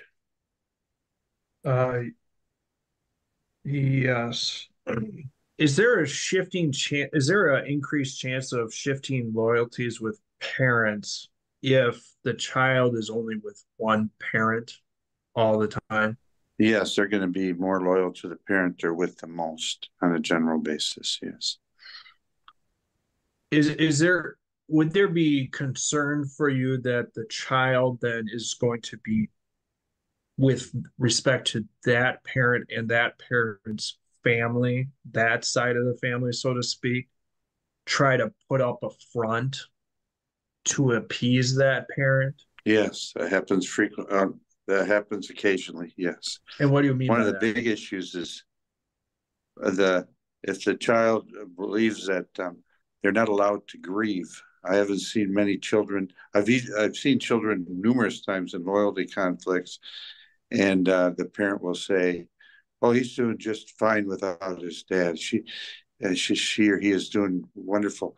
But when you get him behind closed doors, there's a lot of underlying pain that he's not, uh, um, willing to express or, or deal with. So, you know, I guess what I'm imagining, you tell me if this is correct. You have a child that's with the father or mother, whoever it may be, and their family. So they are acting happy, things are normal, but really underneath, there's a lot of issues going on. Yes. Okay. So that's not abnormal for that to happen. No, it's, it's happened to numerous people I saw, and um, um, that's why, uh, for example, in my case with my daughter being schizophrenic and paranoid and, and whatever, um, uh, I explained that to him, and uh, um, uh, back when he was younger, and said we're going to have to hold off for a little bit because the brain's not working right. It's not your fault, and uh, but I want to maintain that relationship because I, it, it's always his mother. Um, that's his mother. I we're adopting him, yes, but he knows that. And I was startled one day when I heard him talking to his friends, and he'd say, "No, it doesn't bother me." But when he talked to his friends in the same situation, it bothered him, and that's happened to me numerous times in the clinical, um, in my clinical practice. Is there issues when uh, one parent unilaterally decides to put a child into counseling without the agreement of the other parent? Um, I prefer most of the time that both parents be involved with it. And why is that? I, I only get one side of the story. And so if that one parent and is and the step parent with that child are the only contacts with that counselor, would that give you concern as to what is happening? I don't know about about a concern, but it's probably gonna um make the the it won't give the therapist a full perspective of what's going on. So if you're really trying to fix it, you should have everyone involved. Is that what I'm hearing? In the scenario described to me, you have to have everyone involved, right? Is there an increased chance that a minor child, about five or six years old, um, to go back to the maybe the internalization? You know what what I mean is that they act like they're happy or things are okay with the one side of the family. It- Does it does that happen at an increased, I guess, time? I guess if there is either physical abuse or threat of physical abuse as well. I, I'm not sure I understand the question. Okay, so so you had indicated that uh that it can, yeah, that was poorly worded.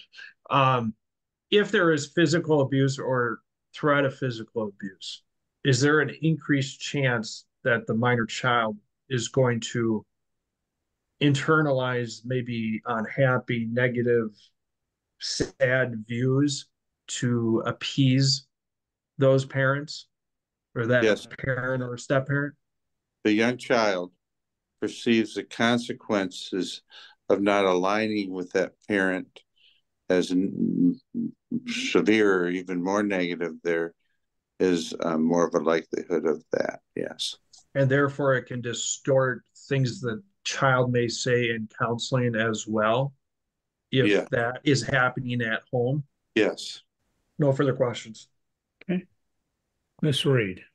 Dr. Haugen, you said that it occasionally happens that um, a child will internalize and and appear happy and try and bury those feelings. Is that correct?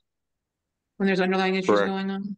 And so in in a particular case, when the child hasn't seen, say, grandparents or extended family in almost 10 months, and there's been no behavior change since before the contact stopped and after the contact stopped, that would be concerning. concerning regarding not having a behavior change. Yes. I think that would be, um, um, not having a behavior, would that be concerning that they didn't have a behavior change? No, it wouldn't be concerning. I still, think it would need to be explored. Um, but, um, at that age, if you're talking still six or seven, whatever, they're gonna, um, adopt, uh, um, the position of that parent. So if she's still just, a- if the child's still happy and, and doing well in school, she's not disclosing to anybody that she's upset or grieving or sad, you would still think there's a substantial risk of harm? Um, there's more of a risk of harm than later on as they emerge into um, their um, preteen and teen years when they try to wrap their head around what occurred. Very similar to um, sexual abuse, where a child may not be injured at five or six, but uh, later on realize what happened, and th- then the, the, the symptoms come. I have no further questions. Dr. Haugen, just to follow up on that, what Ms. Reed stated is, would you find that unusual if, in fact, as she states, uh, the child after the loss, let's say of a parent or other side of the family, that that child would again function as they had prior to that loss? I would say some children do that. Um, um, I would find it unusual, uh, although it is possible that it wouldn't um, come out later on as they're beginning to understand more what occurred. Okay. If the child continues to act and uh, react as they had prior to that loss, is that an indication that there was no harm experienced by the child? No, it would, it, it may be, again, we're in hypothetical here, it may be an indication that the child's just burying it and not buried it and not dealing with it at that time. Okay. Mr. Bartel, anything else? Um, nothing further, Your Honor. Okay. Ms. Reed? Just quickly, Dr. Haugen, so you said that it, it may be that they're bearing with it or not dealing with it? Objection has to answer. I mean, she can argue at the end and highlight whatever she wants. It's kind of the theme. I can ask a different question. Well, go ahead, Ms. Reed. Well, Dr. Haugen, could it be that this child is completely happy, fine, and not bearing it at all? Yeah, I guess it could be anything, I guess. I mean, but uh, I haven't seen that very often, but I suppose depending on the child's temperament, um, previous coping abilities, um, some children do, yes. I have no further questions. Okay. Anything else, Mr. Bartel? Okay, so, and I understand, Dr. Haugen, I, I'm gonna preface again, you haven't seen the child or whatever. Um, and you had said that you hadn't seen it happen very often to Miss Reed's question. Um, I guess you would have to take that in the context of whether or not there's verbal and physical abuse by the parent and step parent at home and what processes were occurring with regards to unilateral decisions to the counselor and who was involved and basically everything else you had said. Is that correct? Yes, you'd have to um, put it all into context. Yes. So if we have secret counseling, unilateral counseling, and we have testimony that the grandparents were not involved at all with counseling and the counselor did not get anyone else involved and that there's been abuse or at least verbal abuse by stepmother do you think that would change your i mean would that give you extreme concern that the child may be suppressing things? Um, that would be a, a big hypothesis i'd entertain and that would be consistent with the literature and your clinical experience? Yes. No further questions. Anything else, Ms. Reed? Yes, Your Honor. So Dr. Haugen, if the testimony came out that there wasn't secret counseling and that the parent knew about it and the counselor was trying to investigate some of these allegations and this counselor was working with the child for nine or 10 months and that counseling was abruptly ended by a parent And that they were working through those issues and there were none of these allegations or there no there's no abuse, physical or emotional abuse going on. And that there was some se- severe significant boundary violations done by the grandparent against this child, triangulating the grandparent against father to keep secrets and telling the child that the father is not the father. Would that change your opinion? I guess. Wait, I'm gonna, I wouldn't have an opinion because I didn't see him myself. I'd have to put the whole thing into context. Yes, that can, that could, um, that part of it could be, I'd have to assess the prior relationships, the relevance of that prior relationship. And, um, dig into child a little bit. Um, it's really hard to say with any certainty. Um, that the court demands that it is or isn't. So you can't say like a hundred percent that this child's at a substantial risk of harm. objection, Your Honor, I, I don't think they talk in hundred percent certainties, but I would say, I don't know hundred percent, but there's certainly a risk for the child, yes. I have no further questions. Okay, anything else, Mr. Bartel? Dr. Haugen, do you ever have hundred percent certainties in your profession? I, I don't have that in my life. No, not at all.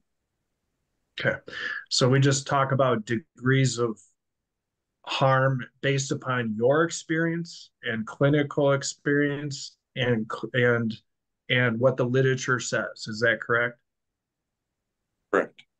Okay. You could say accurately that all sexually abused people aren't traumatized, uh, uh, are, aren't necessarily traumatized. There is some people who are sexually abused that don't exhibit very many trauma symptoms.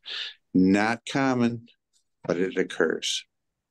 It's not popular in the literature either, but it, it occurs. And and like I and like we I percent certainty.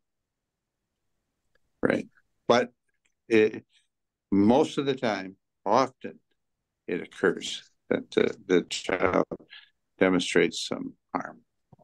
And so what you testified here today was based upon your clinical experience and literature and talks about what happens often. Is that correct? Correct. All right, no further questions. Okay, Ms. Reed, anything else? No, Your Honor. Okay, Dr. Haugen, uh, that will conclude your testimony. Thank you. You're free to go. Have a great day. Thank you, Your Honor. Mr. Bartel, next witness. Yeah, so I'm gonna call Stephanie Plane. Okay, here she comes. Hold on. She was there. Oh, okay. You're still muted, ma'am. Okay, can you hear me now? One second before we have you testify. Ms. Toledo, if you could, when you're moving around, please cover your screen. It's very distracting. Yeah, either sit in one place still or cover cover it so we don't see it as you're moving about. Okay, thank you. Ms. Plane, we're going to take some testimony from you, so we need to have you raise your right hand, be sworn in, then we'll proceed. Do you solemnly swear or affirm the testimony you are about to give shall be the whole truth and nothing but the truth? I do. Okay. Ms. Plane, can you uh state your full name for the record, spelling your last? Stephanie Lynn Plane, P L A N E. And uh do you know a Kelsey Cronkite? I do. And how do you know her? She is my granddaughter And um when's the last time you've seen her? in April. Um, do you know a Chloe Cronkite? I do. And how do you know her? She is my bonus great granddaughter through marriage. And you know Ori Cronkite? I do. And who is he to you? He is my granddaughter's husband, so my step grandson. And let me ask, ha- have you in the past seen Kelsey engage with Chloe? Many times. Okay, uh, have you ever seen her badmouth Taylor Morgan in front of the Meyer child? Not Taylor, no. Okay. Uh, how would you indicate that Kelsey's demeanor towards I mean, let me rephrase that. Have you ever seen her scream at Chloe? Yes, several times. Okay. Um, the best you could tell, at least the reaction from uh, Chloe. Uh, how did Chloe take that? It it appeared that she it scared her. Anytime And- children are yelled at, it scares them. And let me, without saying specifically what uh, Kelsey said, um, was she? What was the reason why she was screaming at Chloe?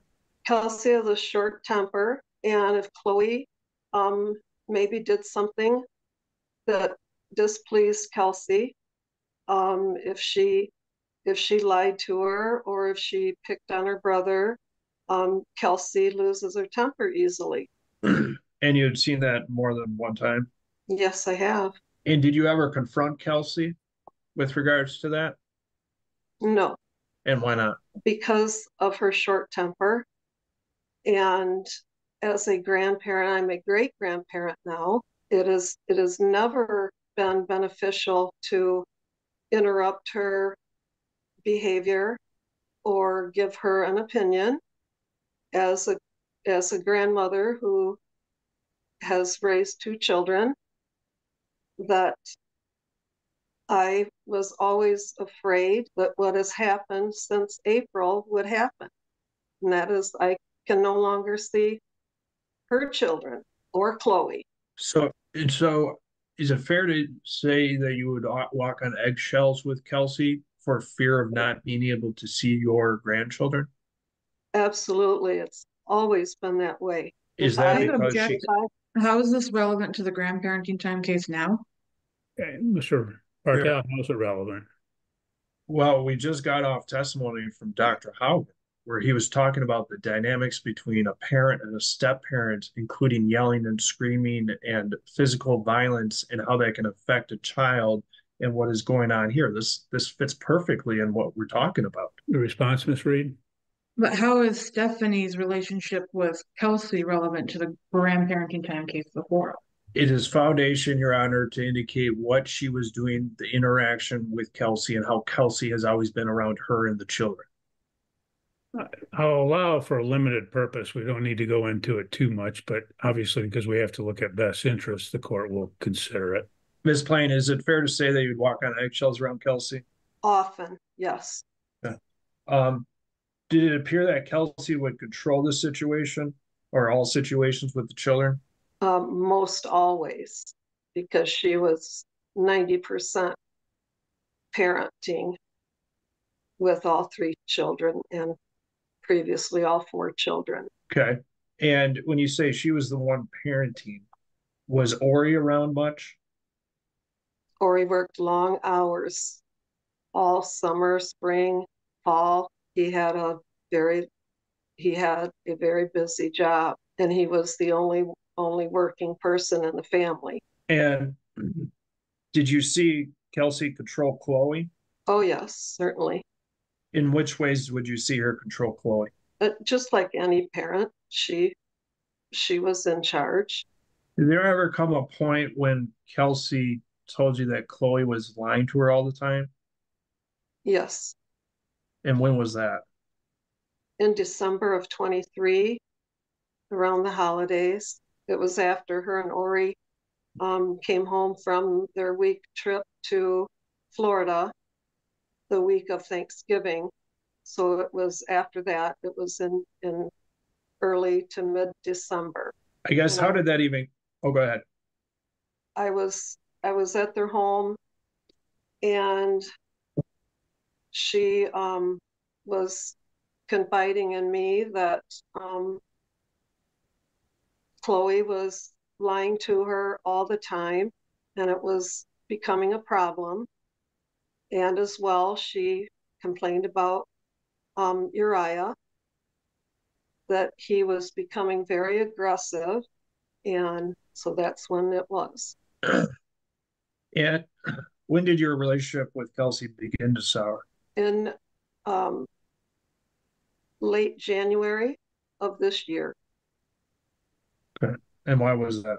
She was planning their um, end of February trip to Florida and I'm gonna object, me. Your Honor. I still don't see why a relationship souring is relevant to grandparenting time.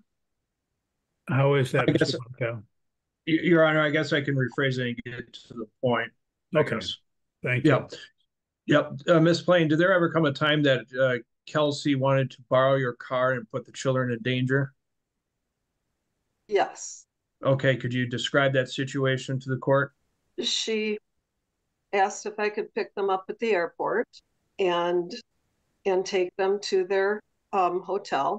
And I, after I thought about it, at first I said, "Of course I will," and then after I thought about it, after we had hung up, I realized that my Subaru Forester does not fit six people. It only fits five people, and without car seats in the only back seat, with only two adults in the front, you can't fit another adult and three children in my back seat, which to include Chloe, who was five years old at the time. So I um um texted her, Kelsey, Kelsey gets so angry so quickly that I I can't have a calm conversation. And so as walking on eggshells, like I said, I texted her. She she constantly prefers texting to speaking. And I said, Kelsey, I texted her, I said, I realized you're going to have to get a larger vehicle. Six of us. Uh, one, two, I'm gonna object again, Your Honor. I don't see how any of this is relevant to grandparenting time. Okay, Mr. Bartel? Well, I mean, the testimony overwhelming majority of the people, including family on the other side, has indicated that Kelsey takes care of all the children, including Chloe.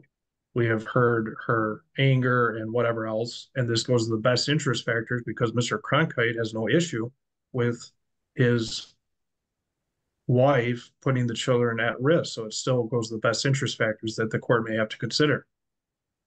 Okay, well, I'll overrule the objection. Go ahead. So I, um, when I told Kelsey that she was going to have to get a larger vehicle because, um, because of the tragedy that happened in 2022 that caused the death of our first great grandchild, her first child. I said that I would I wouldn't drive 10 minutes with those children not safe in the car and she became angry with me and started um, texting me telling me uh, don't don't call me you're I'm stressing gonna object to hearsay. Sustained. But she became angry, Miss Plane. pardon me She became angry. Uh, well uh, by text she became angry yes And then she didn't talk to you after that? Mm, no Okay. not One other not- thing. Oh, did you, when was the last time you had an encounter with Mr. Cronkite? please repeat that When was the last time you had an inner encounter with Mr. Cronkite? Oh, I had an encounter with Ori Cronkite on a Sunday afternoon on a freeway, a very busy freeway on a Sunday after church. And I went, I drove to a nursery. They had a big sale on plants. And my sister in law had asked me to look for some for her. And as I left the nursery and I turned north onto M66, I noticed immediately in my rear view mirror a huge white oversized truck on my tail. I mean, right almost up against my bike rack that's attached to my vehicle. And I, upon looking, I realized that was Ori Cronkite's truck. I thought it was. And his truck stayed on my tail.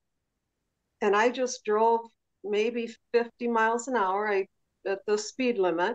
And after about maybe a minute of him being right on my tail, no distance between us, he pulled into the oncoming lane, sped up ahead of me, in front of me, and then he slammed on his brakes. If I hadn't been in good control of my car, I would have slammed into the back of his truck. And then he stayed in my front bumper. And after 30, 45 seconds of that, I I tried to pull into the passing lane to maybe get around him. And then I saw him pointing at his cell phone with his window rolled down. So I recognized exactly who it was. And I tried to pull around him, and he swerved his truck into my vehicle. And I had to swerve over into the southbound lane and almost into the, the ditch, at which I dropped back behind Ori's truck. And he stayed right in front of me. And then he was pointing for me, wanting me, appearing that he wanted me to pull over to the side of the road. I had no idea what Ori would do, so I just stayed behind him. By that time, I dialed 911 and got a dispatcher. She told me to pull off to the next No, you road. can't say hearsay. And so we got to near Station 66, the restaurant. Okay. So you had this encounter where he had almost run you off the road. Is that correct? Yes, sir. Okay. And you have not had any contact with him since then? No. Okay. No further questions, Your Honor. Okay. Ms. Reed, any questions? I have no questions for this witness. Okay. Ms. Plane, that will conclude your testimony. You're free to go. Have a good day. Thank you. You too. Mr. Bartel, next witness. No further witnesses, Your Honor. We rest.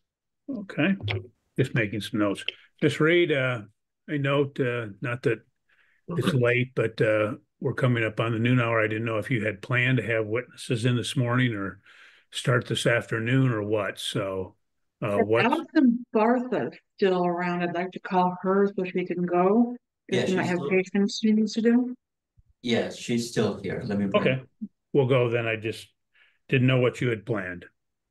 And, and just so I understand, Your Honor, um, I anticipate she's gonna be a long one, so should we just do the direct? And then I guess we can see where it goes. It, it may go for a while. Let's, let's see where it goes. If we have to go into the noon hour for a little bit, we can do that. All right. Please unmute Miss Bartha. Can you hear us, ma'am? I can hear you. Can you hear me? Yes. Ms. Bartha, we're going to take some testimony, so if you would raise your right hand, we'll have you sworn in, then we'll proceed. Raise your hand, please. Uh, do you solemnly swear or affirm the testimony you are about to give shall be the whole truth and nothing but the truth? I do. Go ahead, Ms. Reed.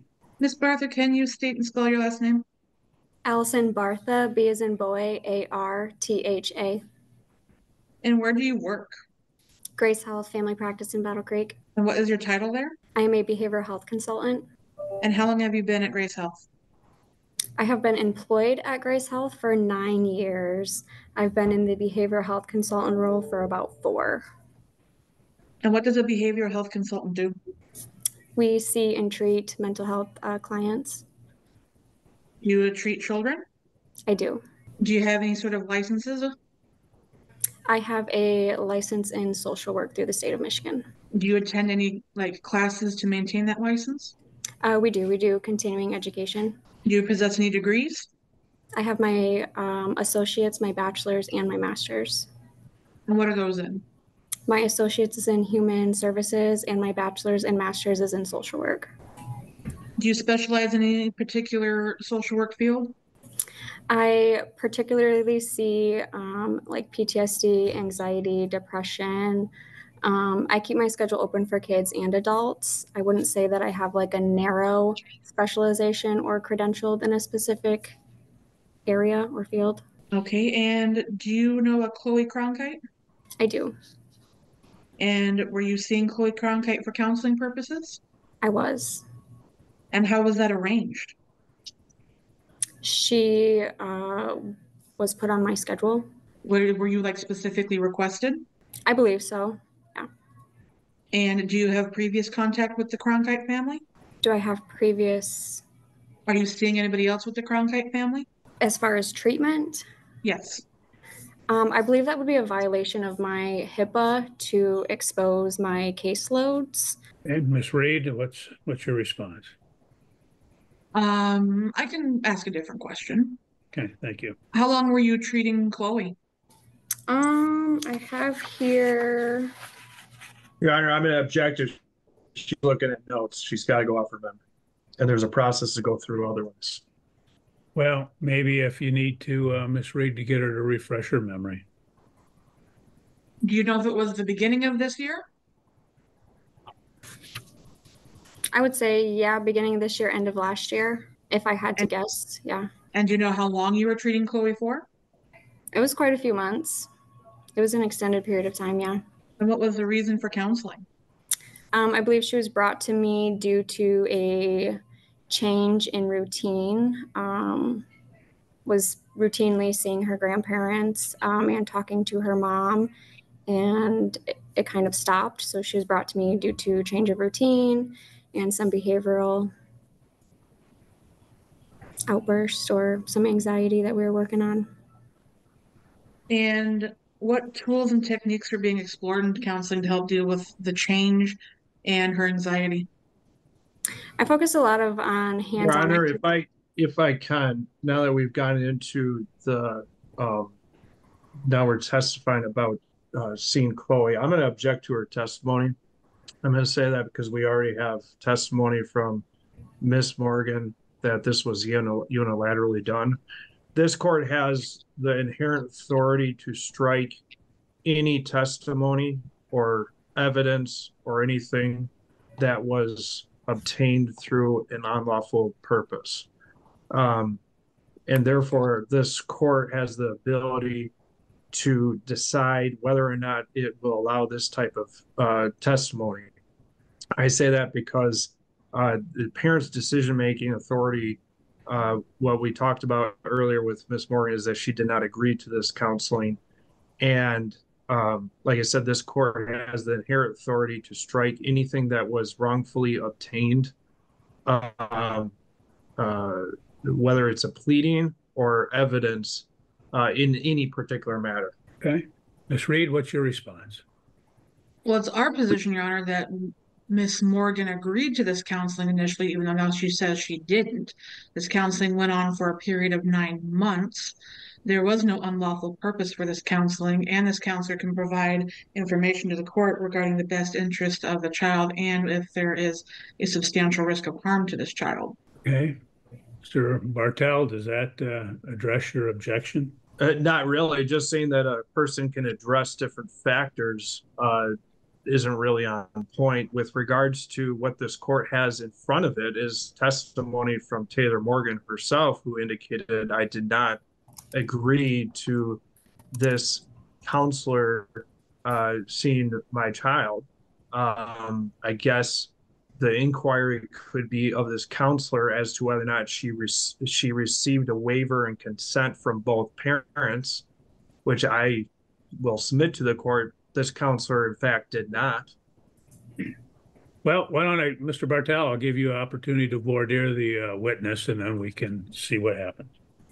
So, Miss Bartha, did you ever res- did you know who the mother of Chloe is?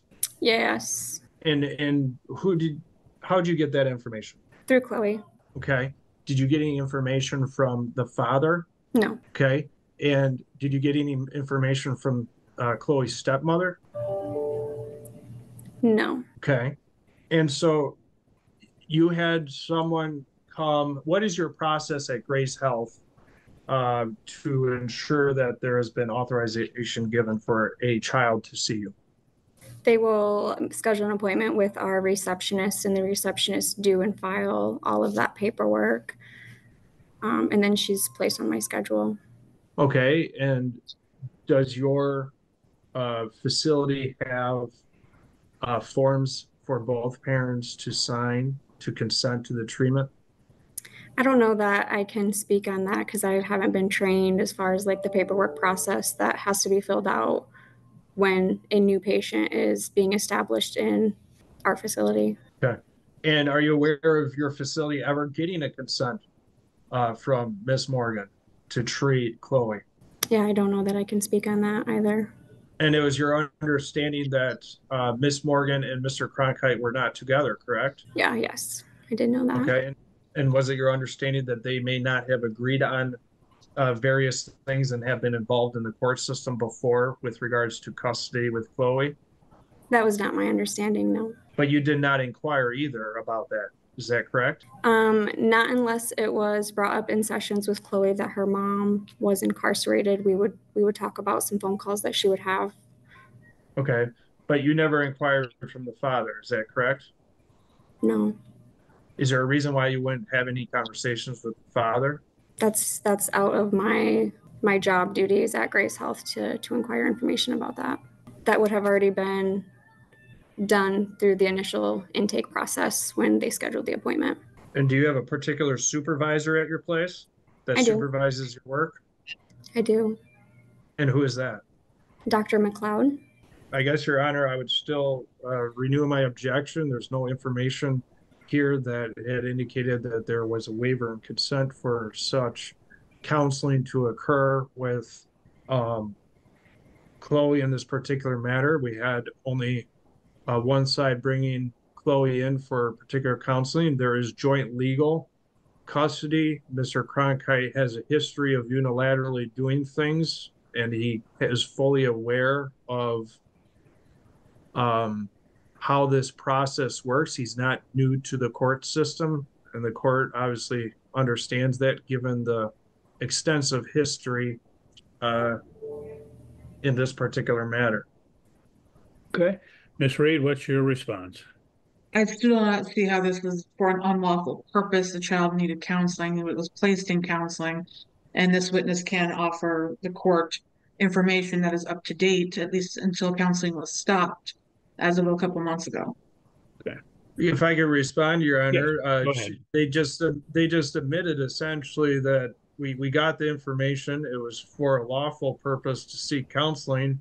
And guess what? It was, it was Mr. Cronkite who filed a motion the day after, I think it was our last hearing or the hearing before, asking for counseling to continue. He knows the process. And they're still not addressing that he knows the process. And legal custody means that both parents agree on what's going to happen with regards to important decision making concerning the minor child, which clearly includes uh, mental health treatment. Any response, Ms. Reed? We did file motions to continue counseling, but custody and parenting time issues are a separate and distinct issue rather you can't combine them with grandparenting time. If we're having custody and parenting time issues, then you bring that in the custody case under a parenting time issue or a, the custody issue or whatever it may be because Ms. Morgan is in prison. This witness is here to testify about this child's best interest and substantial risk of harm regarding grandparenting time. These are two different issues. Well, maybe two different issues, Ms. Reed, but obviously Ms. Morgan does have joint legal custody. And with joint legal custody comes all sorts of, uh, again, responsibilities and privileges, if you would. And that's to make important decisions concerning the child's well-being, their health, and all sorts of other things. It's spelled out usually in the uh, custody order.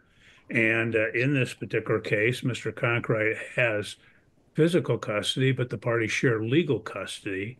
And in this case, the defendant has testified that she did not agree to the counseling. She wouldn't agree to the counseling. In fact, she fought that, and it was fought when it came before me. I discontinued the counseling because it would not be consented to. Today, Ms. Uh, Barthas sought there's going to be testimony concerning the child, and we don't have a waiver uh, signed by Miss Morgan or consent for the counseling or consent for her to testify as to those issues, which she has a right as a parent to do. So the court does believe that, uh, again, uh, there, at least as it relates to that uh, joint legal custody, that she maintains and retains those rights. And there's been no waiver or consent to that. So the court is going to bar the testimony of Miss Bartha at uh, at this particular time unless there should be a waiver or consent at some point in the future. So, Ms. Bartha, I guess I will conclude your testimony. You're free to go. Thank you. Next witness, Ms. Reed. My next witness is gonna be Ari, and that's gonna be another long one, so I would not object if the court wants to break or continue. Why don't we do this? Why don't we break and uh, then we'll come back at uh, why don't we come back at start at one o'clock?